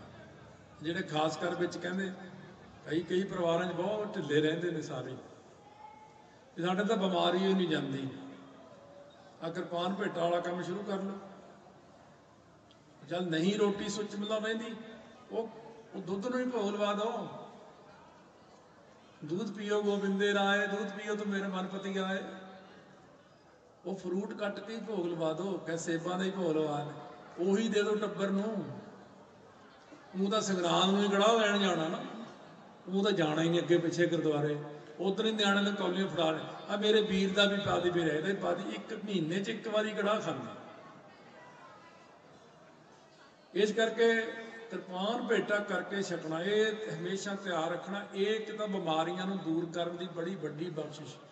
ਕਿਰਪਾਨ ਪਾਨ ਧਾਰੀਆਂ, ਕਰੋੜ ਪਾਪ ਟਾਰੀਆਂ, ਦਸੇ ਪਾਤਸ਼ਾਹ ਕਹਿੰਦੇ ਜਿਹਨੇ ਕਿਰਪਾਨ ਸਿਰਫ ਹੱਥ 'ਚ ਫੜ ਲਈ, ਕਰੋੜਾਂ ਪਾਪ ਤਾਂ ਉਦਾਂ ਹੀ ਟਲ ਜਾਂਦੇ ਉਹਦੇ ਕਰੋੜਾਂ ਪਾਪ ਸਿਰਫ ਸ੍ਰੀ ਸਾਹਿਬ ਨੂੰ ਹੱਥ 'ਚ ਫੜਨ ਨਾਲ ਹੀ ਟਲ ਵਿਸ਼ਵਾਸ ਕਰੋ, ਮੰਨਿਆ ਕਰੋ ਗੱਲ ਨੂੰ।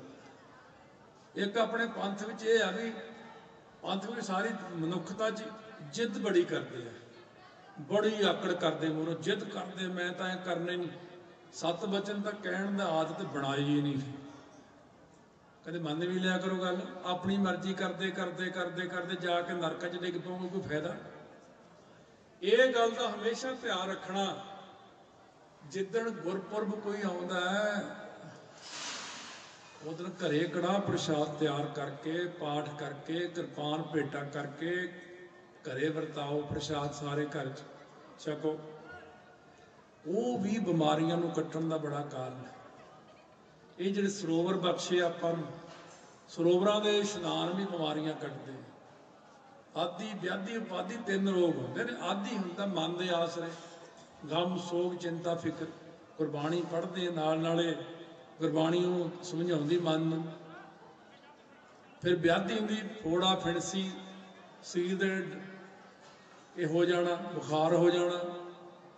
ਉਪਾਧੀ ਹੁੰਦੀ ਆ, ਬਾਹਰੋਂ ਕਿਸੇ ਚੀਜ਼ ਦਾ ਅਸਰ ਪੈ ਜਾਣਾ। ਜਿਵੇਂ ਕੋਈ ਇੰਗਲੈਂਡ ਚ ਪ੍ਰੇਮੀ ਕਹਿੰਦੇ ਵੀ 18 ਸਾਲ ਹੋ ਗਏ ਵੀ ਬੁਖਾਰ ਨਹੀਂ ਹਟਦਾ। 101 ਹੀ ਰਹਿੰਦਾ 100 ਰਹਿੰਦਾ। ਡਾਕਟਰ ਜ਼ੋਰ ਲਾ ਕੇ ਬੁਖਾਰ ਨਹੀਂ ਹਟਦਾ। ਮੈਂ ਸਮਝ ਗਿਆ ਵੀ ਇਹਨਾਂ ਨੂੰ ਨਾ ਤਾਂ ਆਦੀ ਆ, ਨਾ ਵਿਆਧੀ ਆ।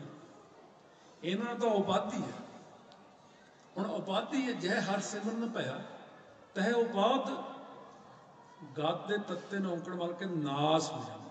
ਤੱਤੇ ਸਿਆਰੀ ਹੋ ਰੱਖਰ, ਔਂਕੜ ਮਤਲਬ ਗੱਤ ਨਾਸ।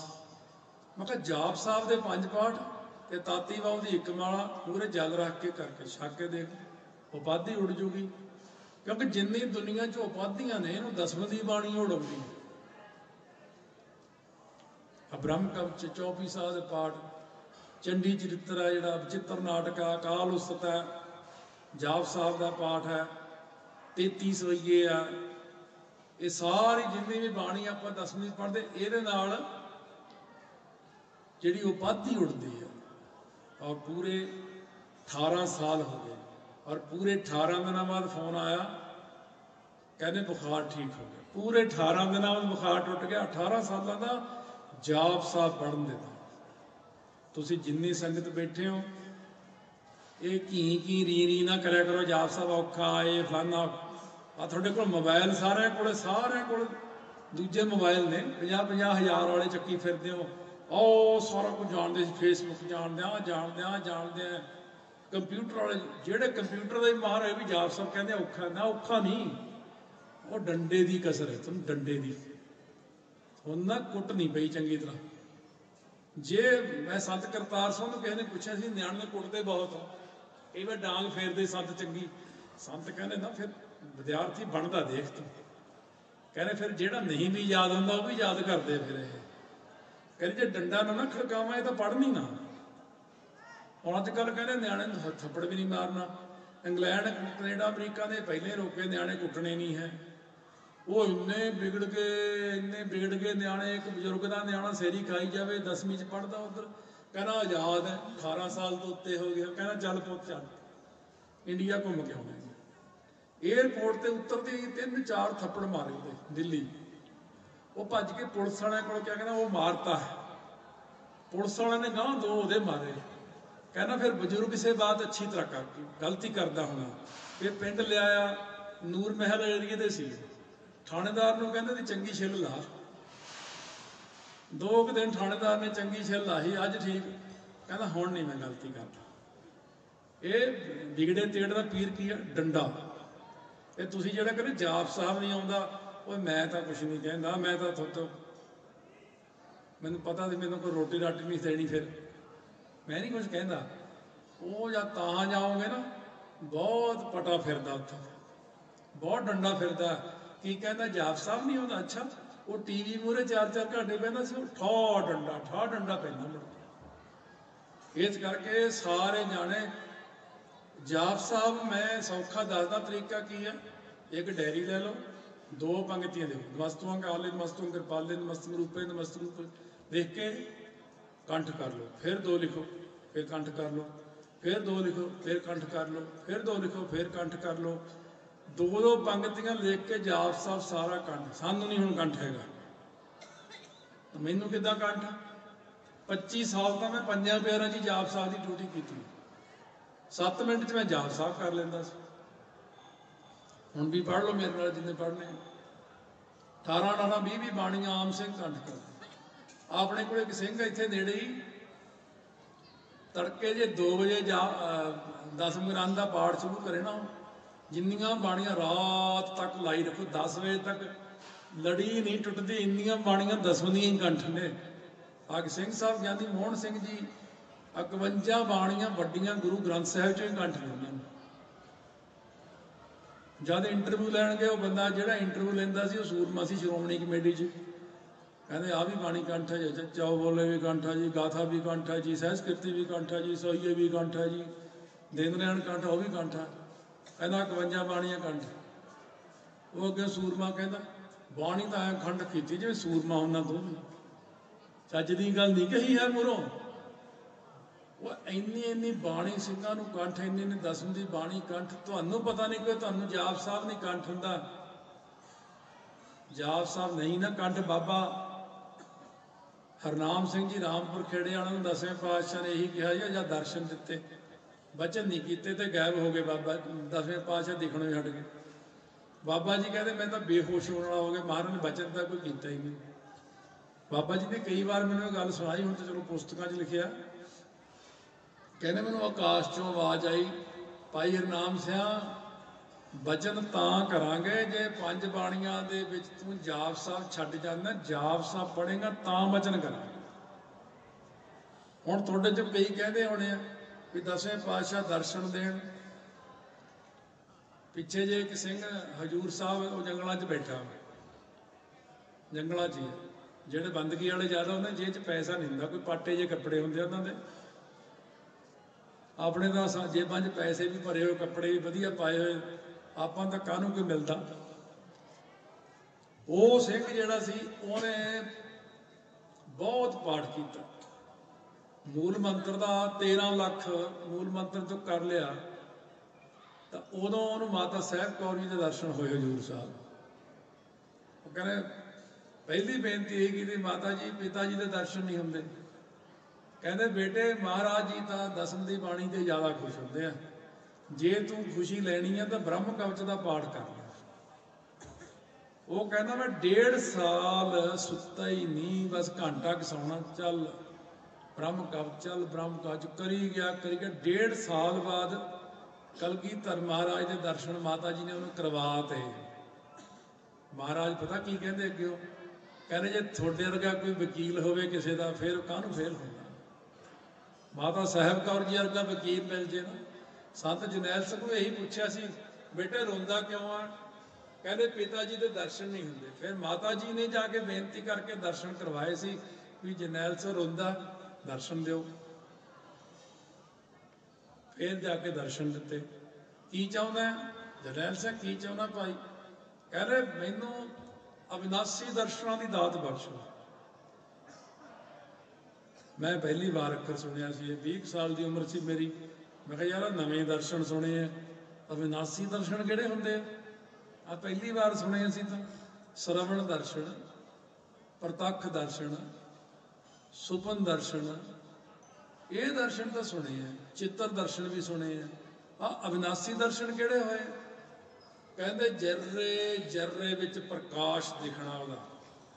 ਸਾਰੇ ਕਿਤੇ ਪ੍ਰਕਾਸ਼ ਦਿਖਣਾ, ਇਹ ਅਵਿਨਾਸੀ ਦਰਸ਼ਨ ਹੁੰਦੇ ਆ। ਕਹਿੰਦੇ ਮਹਾਰਾਜ, ਮੈਂ ਕੀ ਕਹਿੰਦੇ? ਕਹਿੰਦੇ ਕੋਈ ਨਹੀਂ ਜਰਨੈਲ ਸਾਹਿਬ ਥੋੜਾ ਹੀ ਸਮਾਂ ਹੋ ਜਾਣਾ ਇੱਕ ਦਿਨ ਬੈਠੇ ਬੈਠੇ ਕਹਿੰਦੇ, ਮੈਤੇ ਕਹਿੰਦੇ ਬੱਸ ਕੱਢੋ ਛੋਟੀ ਆਪਣੀ, ਆਪਾਂ ਕਲੇਰੀ ਜਾ ਕੇ ਆਉਣਾ। ਮੈਂ ਕਿਹਾ ਚਲੋ। ਅੱਜ 50 ਕੇ ਸਿੰਘ ਬੈਠੇ ਗੱਡੀ 'ਚ, ਕਲੇਰਾਂ ਨੂੰ ਚਲੇ ਗਏ। ਆ ਗਏ ਹਰਭਜਨ ਸਿੰਘ ਜੀ ਜਾਂਦੇ ਸੀ ਉਦੋਂ। ਜਦੋਂ ਉਥੋਂ ਵਾਪਸ ਹੋ ਗਏ ਦਰਸ਼ਨ ਕਰਕੇ, ਕੋਈ ਗੱਲ ਸੀ ਮੈਨੂੰ ਤਾਂ ਪਤਾ ਨਹੀਂ ਭੋਰਾ ਸਾਹਿਬ ਦੇ ਵਿੱਚ ਦਰਸ਼ਨ ਕੀਤੇ, ਮੱਥਾ ਟੇਕਿਆ, ਕਹਿੰਦੇ ਚਲੋ ਚੱਲੀਏ ਜਲ ਪਾਣੀ ਛਕ ਕੇ ਆ ਗਏ। ਰਾਜ ਫਿਰ ਮੈਨੂੰ ਗੱਲ ਕਹੀ। ਇਹ ਗੱਲ 75 ਦੀ ਹੋਈ ਦਸਵੇਂ ਪਾਤਸ਼ਾਹ ਦੀ 1980 ਚ ਮੈਨੂੰ ਦੱਸਿਆ ਫਿਰ। ਕਹਿੰਦੇ ਉਹ ਅਵਸਥਾ ਜਿਹੜੀ ਮਹਾਰਾਜ ਨੇ ਬਚਨ ਕੀਤਾ ਸੀ, ਉਹ ਬਣ ਗਈ। ਮੈਂ ਕਿਹਾ ਜੀ, ਬਹੁਤ ਵਧਾਈਆਂ ਫਿਰ ਤਾਂ। ਮੈਂ ਕਿਹਾ ਤੁਹਾਨੂੰ ਤਾਂ ਫਿਰ, ਕਹਿੰਦੇ ਹੁਣ ਸਾਰੇ ਵਿਆਪਕ ਜੋਤ ਹੀ ਨਜ਼ਰ ਆਉਂਦੀ ਹੈ। ਇੰਨੀ ਉੱਚੀ ਅਵਸਥਾ ਚਲੀ ਗਈ।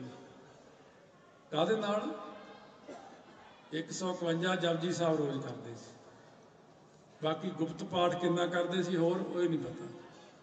ਇਸ ਕਰਕੇ ਜਿਹਨੇ ਸਿਰੇ ਲੱਗਣਾ ਹੁੰਦਾ, ਹੁਣ ਤਾਈਓ ਤਾਂ ਉਹ ਜਿਹੜੇ ਦੋਖੀ ਜੇ ਉਹ ਕਹਿੰਦੇ ਇੰਨਾ ਪਾਠ ਨਹੀਂ ਕਰਨਾ ਚਾਹੀਦਾ, ਇੰਨੇ ਦੀ ਕੀ ਲੋੜ ਹੈ? ਉਹਨਾਂ ਨੇ ਇਹ ਵੀ ਜੇ ਕਿਤੇ ਪਾਠ ਕਰਨ ਲੱਗੇ ਕਿਤੇ ਅਵਸਥਾ ਚ ਨਾ ਉੱਪਰ ਉੱਠ ਜਾਣ। ਆਪਾਂ ਉਹਨਾਂ ਦੇ ਮਗਰ ਲੱਗ ਜੰਨੇ ਲੈ ਜੀ, ਇੰਨੇ ਪਾਠ ਕਰਨ ਦੀ ਕੀ ਲੋੜ ਹੈ? ਇੰਨਾ ਵਾਹਿਗੁਰੂ ਵਾਹਿਗੁਰੂ ਕਰਨ ਦੀ ਲੋੜ ਹੈ? ਇੰਨਾ ਮੂਲ ਮੰਤਰ ਪੜ੍ਹਨ ਦੀ ਕੀ ਲੋੜ ਹੈ? ਨਹੀਂ, ਲੋੜ ਹੈ। ਆਖੋ ਵੀ ਬਾਬਾ ਮੱਕਰ ਸਿੰਘ ਨੇ ਪਾਠ ਨਹੀਂ ਕੀਤਾ। ਕੀਤਾ। ਬਾਬਾ ਨਾਨਕ ਸਿੰਘ ਜੀ ਨੇ ਪਾਠ ਕੀਤਾ। ਬਹੁਤ ਪਾਠ ਕੀਤਾ। ਸਾਰੀ ਸਾਰੀ ਰਾਤ ਹੀ ਪਾਠ ਚੱਲਦਾ ਸੀ। ਸਾਰਾ ਦਿਨ। ਬਾਬਾ ਜੀ 22 ਘੰਟੇ ਆਰਾਮ ਕਰਦੇ ਪਾਠ ਕਰਦੇ ਸੀ, ਸੇਵਾ ਕਰਦੇ ਸੀ। ਜਦ ਬਾ- ਮਹਾ ਹਰਨਾਮ ਸਿੰਘ ਜੀ ਬਾਬਾ ਜੀ ਨੇ ਵਚਨ ਕੀਤਾ, ਪੁੱਛੋ ਵਾਲਿਆਂ ਨੇ। ਕਹਿੰਦੇ ਕਿੰਨਾ ਚਿਰ ਕਿੰਨਾ ਚਿਰ ਸੌਂਦੇ ਕਹਿੰਦੇ ਮਹਾਰਾਜ ਜੀ 2 ਘੰਟੇ ਹੀ ਆਰਾਮ ਕਰਦੇ ਆ 22 ਘੰਟੇ ਸੇਵਾ ਕਰਦੇ ਆ, ਪਾਠ ਕਰਦੇ ਕਹਿੰਦੇ ਆਨੰਦ ਸਿਆ, ਇਹ 1 ਘੰਟੇ ਦਾ ਲੇਖਾ ਕੌਣ ਦਊ ਤੇਰਾ ਫਿਰ? ਕਹਿੰਦੇ ਤੈਨੂੰ 1 ਘੰਟਾ ਹੀ ਸੌਣ ਦਾ ਹੁਕਮ ਹੈ। 22 ਘੰਟੇ ਨਹੀਂ 23 ਘੰਟੇ ਸੇਵਾ ਕਰ ਤੇ ਸਿਮਰਨ ਕਰ। ਸਾਧ ਸੰਗਤ ਜੀ, ਜਾਗਣਾ ਪੈਂਦਾ, ਗੁਣ ਗਾਵਤ ਰਹਿਣ ਬਿਹਾਣੀ ਸਾਰੀ। ਰਾਤ ਜਿਨ੍ਹਾਂ ਦੀ ਲੰਘ ਜਾਂਦੀ, ਭਿੰਨੀ ਰਹਿੰਦੜੀ ਆ ਚਮਕਨ ਤਾਰੇ ਜਾਗੈ ਸੰਤ ਜਨਾ ਮੇਰੇ RAM ਪਿਆਰੇ। ਸਤਵਾ ਪਤ 42 ਭਾਵ ਫੁਰ ਜਾਂਦੇ ਨੇ। ਜਿਵੇਂ ਸੁੱਤੇ ਪਏ ਨੂੰ ਇੱਕਦਮ ਸਾਰਾ ਪਤਾ ਲੱਗ ਜਾਂਦਾ ਜਾਗ ਕੇ। ਇਉਂ ਇੱਕ ਜਾਗਰਤ ਅਵਸਥਾ ਮਨ ਦੀ ਵੀ ਆਉਂਦੀ ਹੈ, ਜਦੋਂ ਮਨ ਜਾਗ ਜਾਂਦਾ। ਜਾਗ ਰੇ ਮਨ ਜਾਗਨ ਹਾਰੇ, ਬਿਨ ਹਰ ਅਵਰਨਾ ਆਪਸ ਕਾਮਾ। ਝੂਠਾ ਮੋਹ ਮਿਥਿਆ ਪਾ ਸਾਰੇ। ਜਦੋਂ ਮਨ ਜਾਗ ਜਾਂਦਾ ਇੱਕ ਤਾਂ ਆਪਾਂ ਸੁੱਤੇ ਹੋਏ ਜਾਗਦੇ ਆ ਨਾ, ਇੱਕ ਮਨ ਜਾਗ ਜਾਂਦਾ ਜਦੋਂ ਮਨ ਜਾਗ ਜਾਂਦਾ ਤਾਂ ਕੁਝ ਹੋਰ ਹੀ ਆਨੰਦ ਬਣ ਜਾਂਦਾ ਕੁਝ ਹੋਰ ਹੀ ਅਵਸਥਾ ਬਣ ਜਾਂਦੀ ਫਿਰ ਮਾਇਆ ਦਾ ਮੋਹ ਨਹੀਂ ਰਹਿੰਦਾ ਮਨ 'ਚ, ਵਿਕਾਰ ਨਹੀਂ ਰਹਿੰਦੇ। ਫਿਰ ਸਾਰੀ ਦੁਨੀਆ ਹੋਰ ਵੀ ਲੱਗਦੀ ਹੈ ਝੂਠੀ ਝੂਠੀ ਇਸ ਕਰਕੇ ਫਿਰ ਉਹਨਾਂ ਦੀ ਐਸੀ ਅਵਸਥਾ ਮਹਾਂਪੁਰਖਾਂ ਦੀ ਬਣ ਜਾਂਦੀ ਹੈ। ਉਸ ਵਕਤ ਫਿਰ ਪਦਾਰਥਾਂ ਦਾ ਅਭਾਵ ਹੀ ਹੋ ਜਾਂਦਾ ਮਨ 'ਚ। ਹੁਣ ਤਾਂ ਆਪਣਾ ਮਨ ਪਦਾਰਥਾਂ ਵਿੱਚ ਜੁੜਿਆ ਹੋਇਆ ਦੇਖੋ ਸਾਰਿਆਂ ਦਾ। ਪਰ ਮੁਸ਼ਕਲ ਜਿਹਾ ਲੱਗਦਾ ਮੈਨੂੰ ਕਈ ਵਾਰੀ ਇਹ ਤੁਹਾਨੂੰ ਕੱਢ ਵੀ ਸਕਾਂਗੇ ਇਹਨਾਂ ਚੀਜ਼ਾਂ ਚੋਂ। ਮੁਸ਼ਕਲ ਆ। ਨਹੀਂ ਨਿਕਲ ਸਕਦੇ।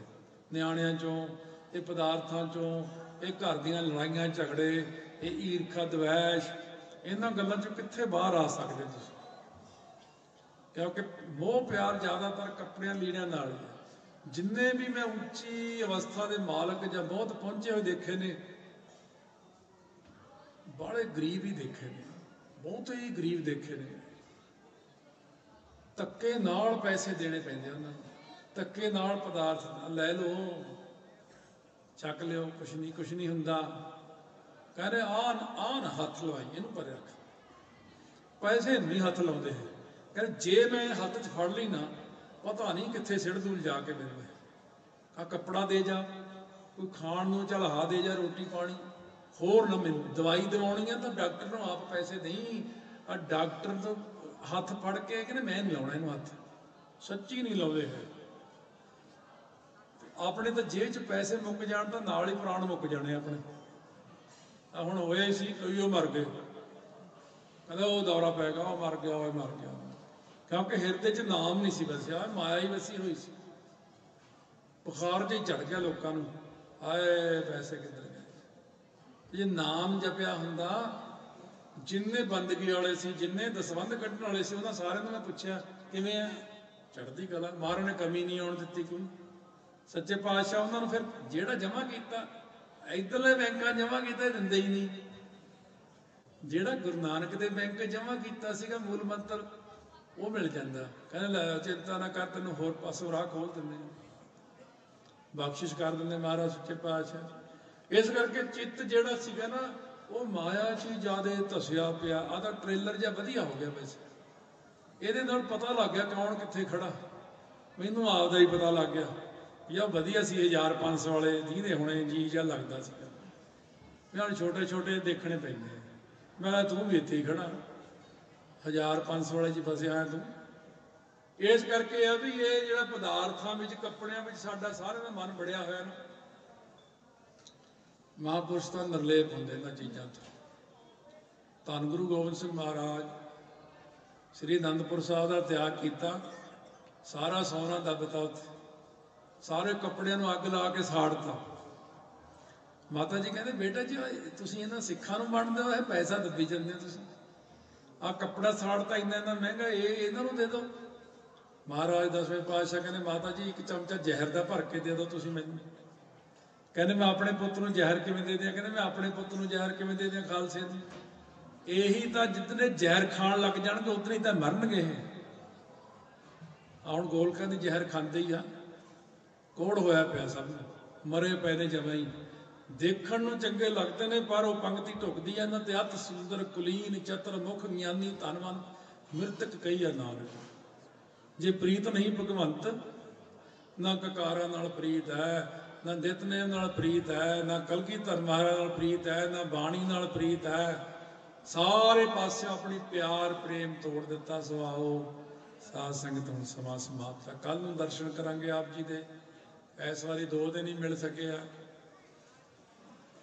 ਆਓ ਪਿਆਰ ਸਤਿਕਾਰ ਨਾਲ ਵਾਹਿਗੁਰੂ ਮੰਤਰ ਦਾ ਅਭਿਆਸ ਆਪਾਂ ਹੁਣ ਕਰ ਲਈਏ।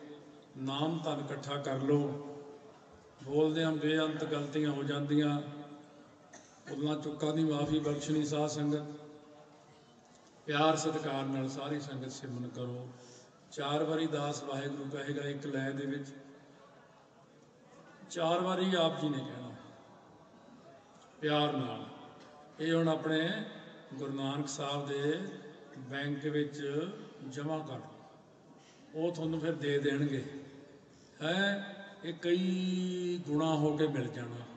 ਸੱਚਖੰਡ ਜਾ ਕੇ ਇਹਦੀ ਕਦਰ ਪੈਣੀ ਹੈ। ਮਹਾਰਾਜ ਸੁਖ, ਸ਼ਾਂਤੀ। ਤਿੰਨ ਬੇਦੀ ਨੇ ਕੀ ਕੁਲ ਵਿਖੈ ਪ੍ਰਗਟੇ ਨਾਨਕ ਰਾਏ। ਸਭ ਸਿੱਖਣ ਕੋ ਸੁਖ ਦੇ ਜਹ ਤੈ ਭਏ ਸਹਾਏ। ਉਹ ਗੁਰੂ ਨਾਨਕ ਸਾਹਿਬ ਕਿਰਪਾ ਕਰਨਗੇ ਸਾਰਿਆਂ ਤੇ। ਵਾਹਿਗੁਰੂ ਮੰਤਰ ਉਹਨਾਂ ਨੇ ਬਖਸ਼ਿਸ਼ ਕੀਤਾ। ਵਾਹਿਗੁਰੂ ਵਾਹਿਗੁਰੂ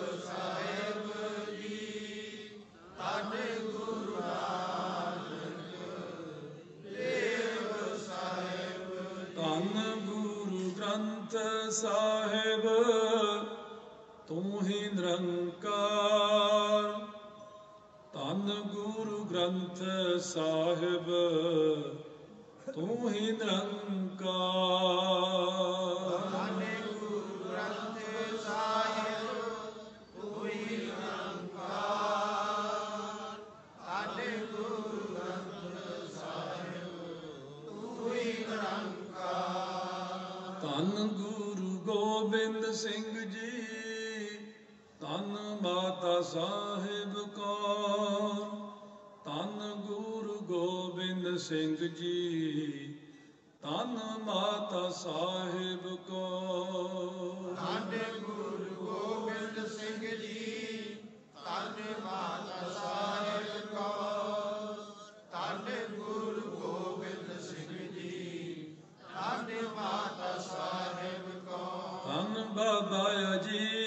ਸਿੰਘ ਜੀ ਧੰਨ ਬਾਬਾ ਜੁਝਾਰ ਸਿੰਘ ਜੀ ਧੰਨ ਬਾਬਾ ਜੋਰਾਵਰ ਸਿੰਘ ਜੀ ਧੰਨ ਬਾਬਾ ਫਤਿਹ ਸਿੰਘ ਜੀ ਧੰਨ ਬਾਬਾ ਅਜੀਤ ਸਿੰਘ ਜੀ ਧੰਨ ਬਾਬਾ ਜੁਝਾਰ ਸਿੰਘ ਜੀ ਧੰਨ ਬਾਬਾ ਜੋਰਾਵਰ ਸਿੰਘ ਜੀ ਧੰਨ ਬਾਬਾ ਫਤਿਹ ਸਿੰਘ ਜੀ ਵਾਹਿਗੁਰੂ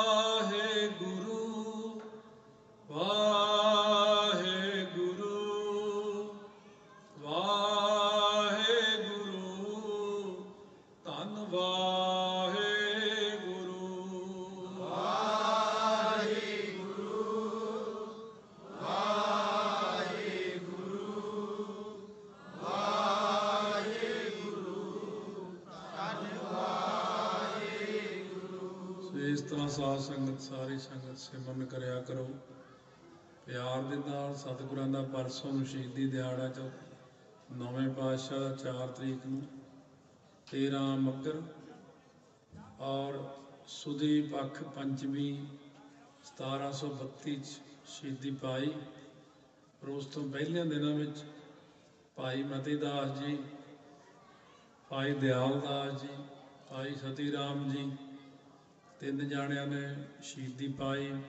ਭਾਈ ਗੁਰਦਿੱਤਾ ਜੀ ਬੁੱਢੇ ਕੇ ਭਾਈ ਬਾਬਾ ਬੁੱਢੇ ਦੀ ਗੁਲ ਚੋਂ ਭਾਈ ਸੋ ਉਸ ਵਕਤ ਜੈਤਾ ਜੀ ਸੇਵਾ ਕੀਤੀ ਸੀਸ ਦੀ।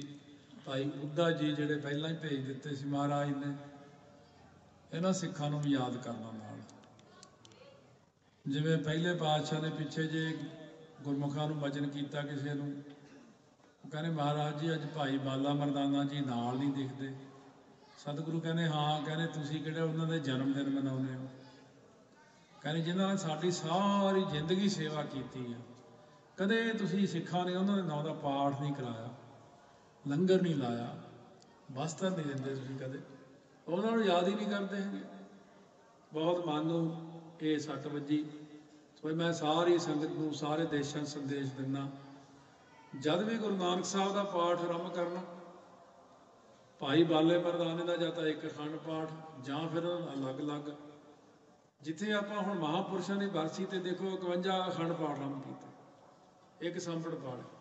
ਜਦ ਗੁਰੂ ਨਾਨਕ ਸਾਹਿਬ ਦੀ ਵਾਰੀ ਆਉਂਦੀ ਹੈ, ਉਹਦੇ ਇੱਕ ਪਾਠ ਹੀ ਕਰਦੇ ਉਹ ਭਾਈ ਭਾਈ ਬਾਲਾ ਜੀ, ਭਾਈ ਮਰਦਾਨਾ ਜੀ, ਬਾਬਾ ਕਲਿਆਣ ਚੰਦ ਜੀ, ਮਾਤਾ ਤ੍ਰਿਪਤਾ ਜੀ, ਬੇਬੇ ਨਾਨਕੀ ਜੀ, ਭਾਈਆ ਜੈ ਰਾਮ ਜੀ, ਉਹ ਕਿੱਧਰ ਜਾਣੇ? ਭਾਈ ਭਗੀਰਥ ਜੀ, ਭਾਈ ਹੋਰ ਨਾਲ ਦੇ ਸਿੱਖ ਕਿੰਨਿਆਂ ਦੇ ਨਾਮ ਲਈਏ? ਉਹਨਾਂ ਦਾ ਵੀ ਪਾਠ ਕਰਾਇਆ ਜਿਆਦੇ ਕਰਾ ਦਿਆ ਕਰੋ। ਪੈਸੇ ਨੂੰ ਘੁੱਟ ਘੁੱਟ ਬੈਠੇ ਰਹੇ। ਮੁੜ ਕੇ ਆ ਰੋੜ ਹੀ ਜਾਂਦੇ ਫਿਰ ਬਾਅਦ ਫਿਰ ਪਾਣੀ ਚ ਰੋੜ ਦੋ ਹੁਣ। ਹੁਣ ਅੱਗ ਲਾ ਕੇ ਸਾੜ ਦੋ। ਹੁਣ ਫੇਰ ਕੀ ਹੋਇਆ? ਹੁਣ ਕੀ ਹੋਇਆ? ਫਿਰ ਆ ਫਾਇਦਾ ਨਿਕਲਿਆ ਕੋਈ ਪੈਸੇ ਉਹ ਜੇ ਉਹ ਚੰਗੇ ਪਾਸੇ ਲੋਕ ਲਾ ਦਿੰਦੇ, ਉੱਤੇ ਤਾਂ ਜਮਾ ਹੋ ਜਾਂਦਾ। ਇਦਾਂ ਇੱਧਰ ਦਾ, ਨਾ ਉੱਧਰ ਦਾ। ਹੁਣ ਨਾ ਕਰ ਲਿਓ, ਹੁਣ ਤੁਹਾਨੂੰ ਇੱਕ ਵਾਰੀ ਝਟਕਾ ਜਾ ਪੈ ਗਿਆ। ਸਭ ਕਾ ਜਿਆਦੇ ਦਸਵੰਦ ਕੱਢਿਆ ਕਰੋ। ਜਦੋਂ ਮੈਂ ਕਹਿਣਾ, ਉਹ ਦਸਵੰਦ ਕੱਢਦਾ ਹੈ ਹੀ ਨਹੀਂਗਾ ਹੁਣ ਕਿੱਥੋਂ ਨਿਕਲਿਆ? ਹੈ ਹੀ ਨਹੀਂ ਦਸਵੰਦ ਤਾਂ ਸਾਡੇ ਕੋਲ ਹੈ ਹੀ ਨਹੀਂਗਾ ਆ। ਐਡਾ ਝੂਠ ਨਾ ਬੋਲਿਆ ਕਰੋ। ਫਿਰ ਆ ਨੌਵੇਂ ਪਾਤਸ਼ਾਹ ਦਾ ਸ਼ਹੀਦੀ ਦਿਹਾੜਾ ਮਨਾਉਣਗੇ, ਬਸ ਕੱਲਿਆਂ ਨੌਵਿਆਂ ਦਾ ਹੀ ਨਾਂ ਲਈ ਜਾਣਗੇ। ਉਹ ਜਿਹੜੇ ਨਾਲ ਦੂਜੇ ਸ਼ਹੀਦ ਹੋਏ ਨੇ, ਸਿਰ ਤੇ ਆਰਾ ਫਰਾਉਣਾ, ਦੇਗੇ ਚੁੱਬਲਣਾ ਰੂਲ ਚ ਲਪੇਟ ਕੇ ਸਾੜਿਆ, ਤੇਲ ਪਾ ਕੇ, ਹੈ, ਉਹਨਾਂ ਦਾ ਨਾਂ ਹੀ ਨਹੀਂ। ਭਾਈ ਜੈਤਾ ਜੀ ਦਾ ਨਾਂ ਹੀ ਨਹੀਂ ਭਾਈ ਬੁੱਢੇ ਕੇ ਕੁਲ ਚੋਂ ਭਾਈ ਗੁਰਦਿੱਤਾ ਜੀ ਦਾ ਨਾਂ ਹੀ ਨਹੀਂਗਾ ਉਹ 40 ਸਿੰਘ ਚਮਕੌਰ ਸਾਹਿਬ ਵਾਲੇ 40 ਸਿੰਘ ਸ੍ਰੀ ਮੁਕਤਸਰ ਸਾਹਿਬ ਵਾਲੇ, ਉਹ 660 ਹੋਰ ਸਿੰਘ ਜਿਹੜੇ, ਉਹ ਕਿੰਨੇ ਸਿੰਘ ਸ਼ਹੀਦ ਹੋਏ ਅਜੇ ਤੱਕ? ਬਾਬਾ ਦੀਪ ਸਿੰਘ ਦਾ ਵੀ ਆਉਂਦਾ। ਭਾਈ ਮਨੀ ਸਿੰਘ ਦਾ, ਕਿਸੇ ਦਾ ਆਉਂਦਾ ਕੋਈ ਪਾਠ ਨਹੀਂ। ਇਹ ਸਾਰਾ ਕੁਝ ਤੁਹਾਨੂੰ ਸ- ਫਿਰ ਤੁਹਾਡੇ ਸਿਰ ਤੇ ਹੀ ਭਾਰ ਆਉਣਾ ਇਹਦਾ। ਨਿਕਲੋ ਇਹ ਚੱਕੜ ਚੋਂ ਬਾਹਰ ਨੂੰ ਆਓ। ਵੱਧ ਤੋਂ ਵੱਧ ਉਹਨਾਂ ਦੇ ਨਾਮ ਦੇ ਅਖੰਡ ਪਾਠ ਕਰਾਓ। ਦੇਗਾ ਬਣਾਓ। ਇਹ ਥੋੜੇ ਸਿਰ ਅਲੰਭ ਹੈ। ਮੈਂ ਤੁਹਾਨੂੰ ਇਸ ਇਹ ਸੋਝੀ ਪਾਲਣਾ ਸਾਰਿਆਂ ਨੂੰ, ਇੰਨੀ ਸੰਗਤ ਬੈਠੀ ਹੈ ਇੱਥੇ।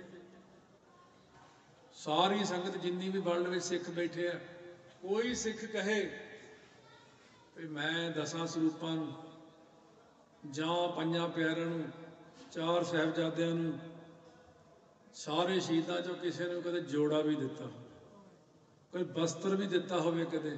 ਇਹ ਇਹ ਸੋਚਦੇ ਆ ਵੀ ਉੱਥੇ ਲੋੜ ਹੀ ਨਹੀਂ ਉਹ ਕੁਛ ਤਾਂ ਉਹਨਾਂ ਨੂੰ ਭੇਟਾ ਕਰੋਗੇ। ਗੁਰੂ ਸਾਹਿਬ ਵੇਲੇ ਕਿਹੜਾ ਕੋਈ ਕਮੀ ਹੁੰਦੀ ਸੀ? ਉਦੋਂ ਵੀ ਤਾਂ ਇੱਕ ਬਾਬਾ ਹੰਸਾਲੀ ਵਾਲੇ ਦੱਸਦੇ ਸੀ, ਕਹਿੰਦੇ ਦਸਵੇਂ ਪਾਤਸ਼ਾਹ ਦਾ ਪਲੰਘ 2 ਘੰਟੇ ਬਾਅਦ ਨਵਾਂ ਬਦਲ ਜਾਂਦਾ ਸੀ। ਇੰਨੇ ਪਲੰਘ ਬਿਸਤਰੇ ਆਉਂਦੇ ਹੁੰਦੇ ਸੀ, ਸ੍ਰੀ ਸਾਹਿਬਾਂ ਘੋੜੇ। ਉਹਨਾਂ ਨੂੰ ਕਿਹੜਾ ਲੋੜ ਸੀ? ਆਪਣੇ ਭਲੇ ਲਈ ਇਹ ਕੰਮ ਕਰਨਾ ਸੀ। ਮਾਤਾ ਸਾਹਿਬ ਕੌਰ ਜੀ, ਮਾਤਾ ਆ ਹੁਣ ਬਾਬਾ ਅਜੀਤ ਸਿੰਘ, ਬਾਬਾ ਜੁਝਾਰ ਸਿੰਘ, ਬਾਬਾ ਜੋਰਾਵਰ ਸਿੰਘ, ਬਾਬਾ ਫਤਿਹ ਸਿੰਘ, ਮਾਤਾ ਜੀ ਦੇ ਜੋੜ ਮੇਲੇ ਤਾਂ ਹੋ ਜਾਣੇ ਆ। ਪਰ ਬਸਤਰ ਨਹੀਂ ਕਿਸੇ ਨੂੰ ਦੇਣੇ। ਜੋੜਾ ਨਹੀਂ ਦੇਣਾ ਉਹਨਾਂ ਨੂੰ। ਇੰਨੇ ਸ਼ਹੀਦ ਹੋਏ ਨੇ, ਫਤਿਹਗੜ੍ਹ ਸਾਹਿਬ ਜਾ ਕੇ ਲਿਖਿਆ ਵੀ 6000 ਇੱਥੇ ਸ਼ਹੀਦਾਂ ਸੰਸਕਾਰ ਹੋਇਆ। ਕਿੰਨੇ ਸਿੰਘ ਸ਼ਹੀਦ ਹੋਏ ਅਜ ਤੱਕ। ਕਦੇ ਕਿਹਾ ਉਹਨਾਂ ਨੂੰ ਤੇ ਕਸ਼ਹਿਰੇ ਵਸਤਰ ਕਮਰ ਕਸੇ, ਕੋਈ ਆਹ ਚੀਜ਼ ਦਾਨ ਹੀ ਕਰ ਦਈਏ, ਕਿਸੇ ਗੁਰਸਿੱਖਾਂ ਨੂੰ ਦੇ ਦਈਏ। ਨਾ, ਲੋੜ ਹੀ ਨਹੀਂ ਸਮਝਦੇ। ਧਰਤੀ ਤੇ ਗੁਰੂ ਨਾਨਕ ਸਾਹਿਬ ਤੁਹਾਡੇ ਭਲੇ ਨਵਾਏ ਆ ਕੇ ਮੂਲ ਮੰਤਰ ਦਿੱਤਾ ਗੁਰ ਮੰਤਰ ਦਿੱਤਾ। ਤੁਹਾਡੇ ਭਲੇ ਵਾਸਤੇ ਹੀ ਦਿੱਤਾ ਸੀ।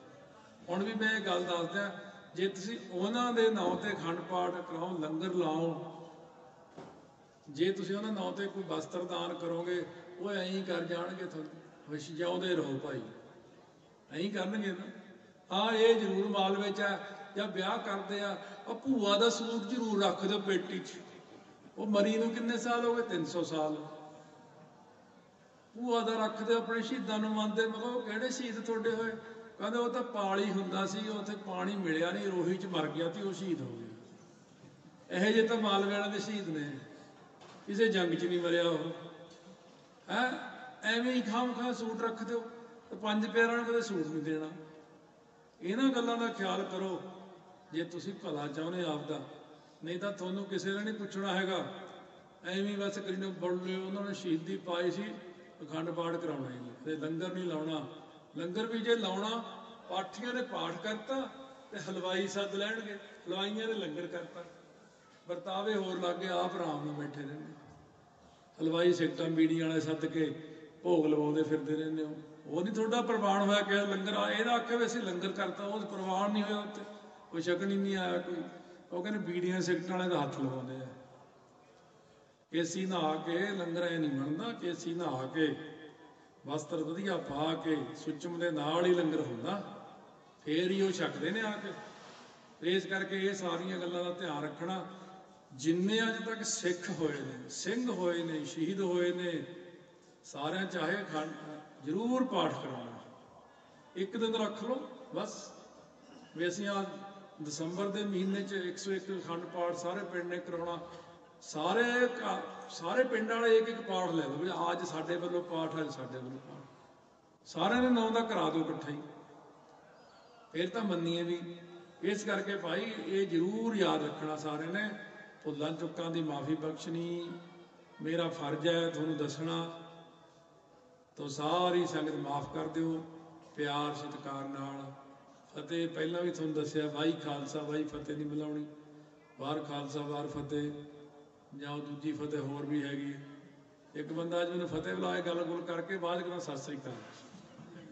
ਹੁਣ ਸਤਿ ਸ੍ਰੀ ਅਕਾਲ ਬੁਲਾਉਣ ਲੱਗੇ, ਪਹਿਲਾਂ ਤਾਂ ਫਤਿਹ ਬੁਲਾਉਣਾ ਸੀ। ਇਹ ਲੋਕਾਂ ਨੂੰ ਫਤਿਹ ਇੰਨੀ ਭਾਰੀ ਲੱਗਦੀ ਹੈ ਨਾ, ਬਈ ਭਾਰ ਹੀ ਲੱਗ ਜਾਂਦਾ ਵੀ ਲੈ ਫਤਿਹ ਬੁਲਾਉਣੀ ਪੈਣੀ ਆ ਹੁਣ। ਜੌਬ ਸਾਹਿਬ ਤਾਂ ਕਿਤੇ ਦੂਰ ਦੀ ਗੱਲ ਆ, ਫਤਿਹ ਬੁਲਾਉਣ ਤੋਂ ਹੀ ਰੋਈ ਜਾਂਦੇ ਨੇ। ਇਸ ਕਰਕੇ ਪਿਆਰ ਨਾਲ ਸਾਰੇ ਗੱਜ ਵੱਜ ਕੇ ਫਤਿਹ ਬੁਲਾਇਆ ਕਰੋ। ਵਾਹਿਗੁਰੂ ਜੀ ਕਾ ਖਾਲਸਾ, ਵਾਹਿਗੁਰੂ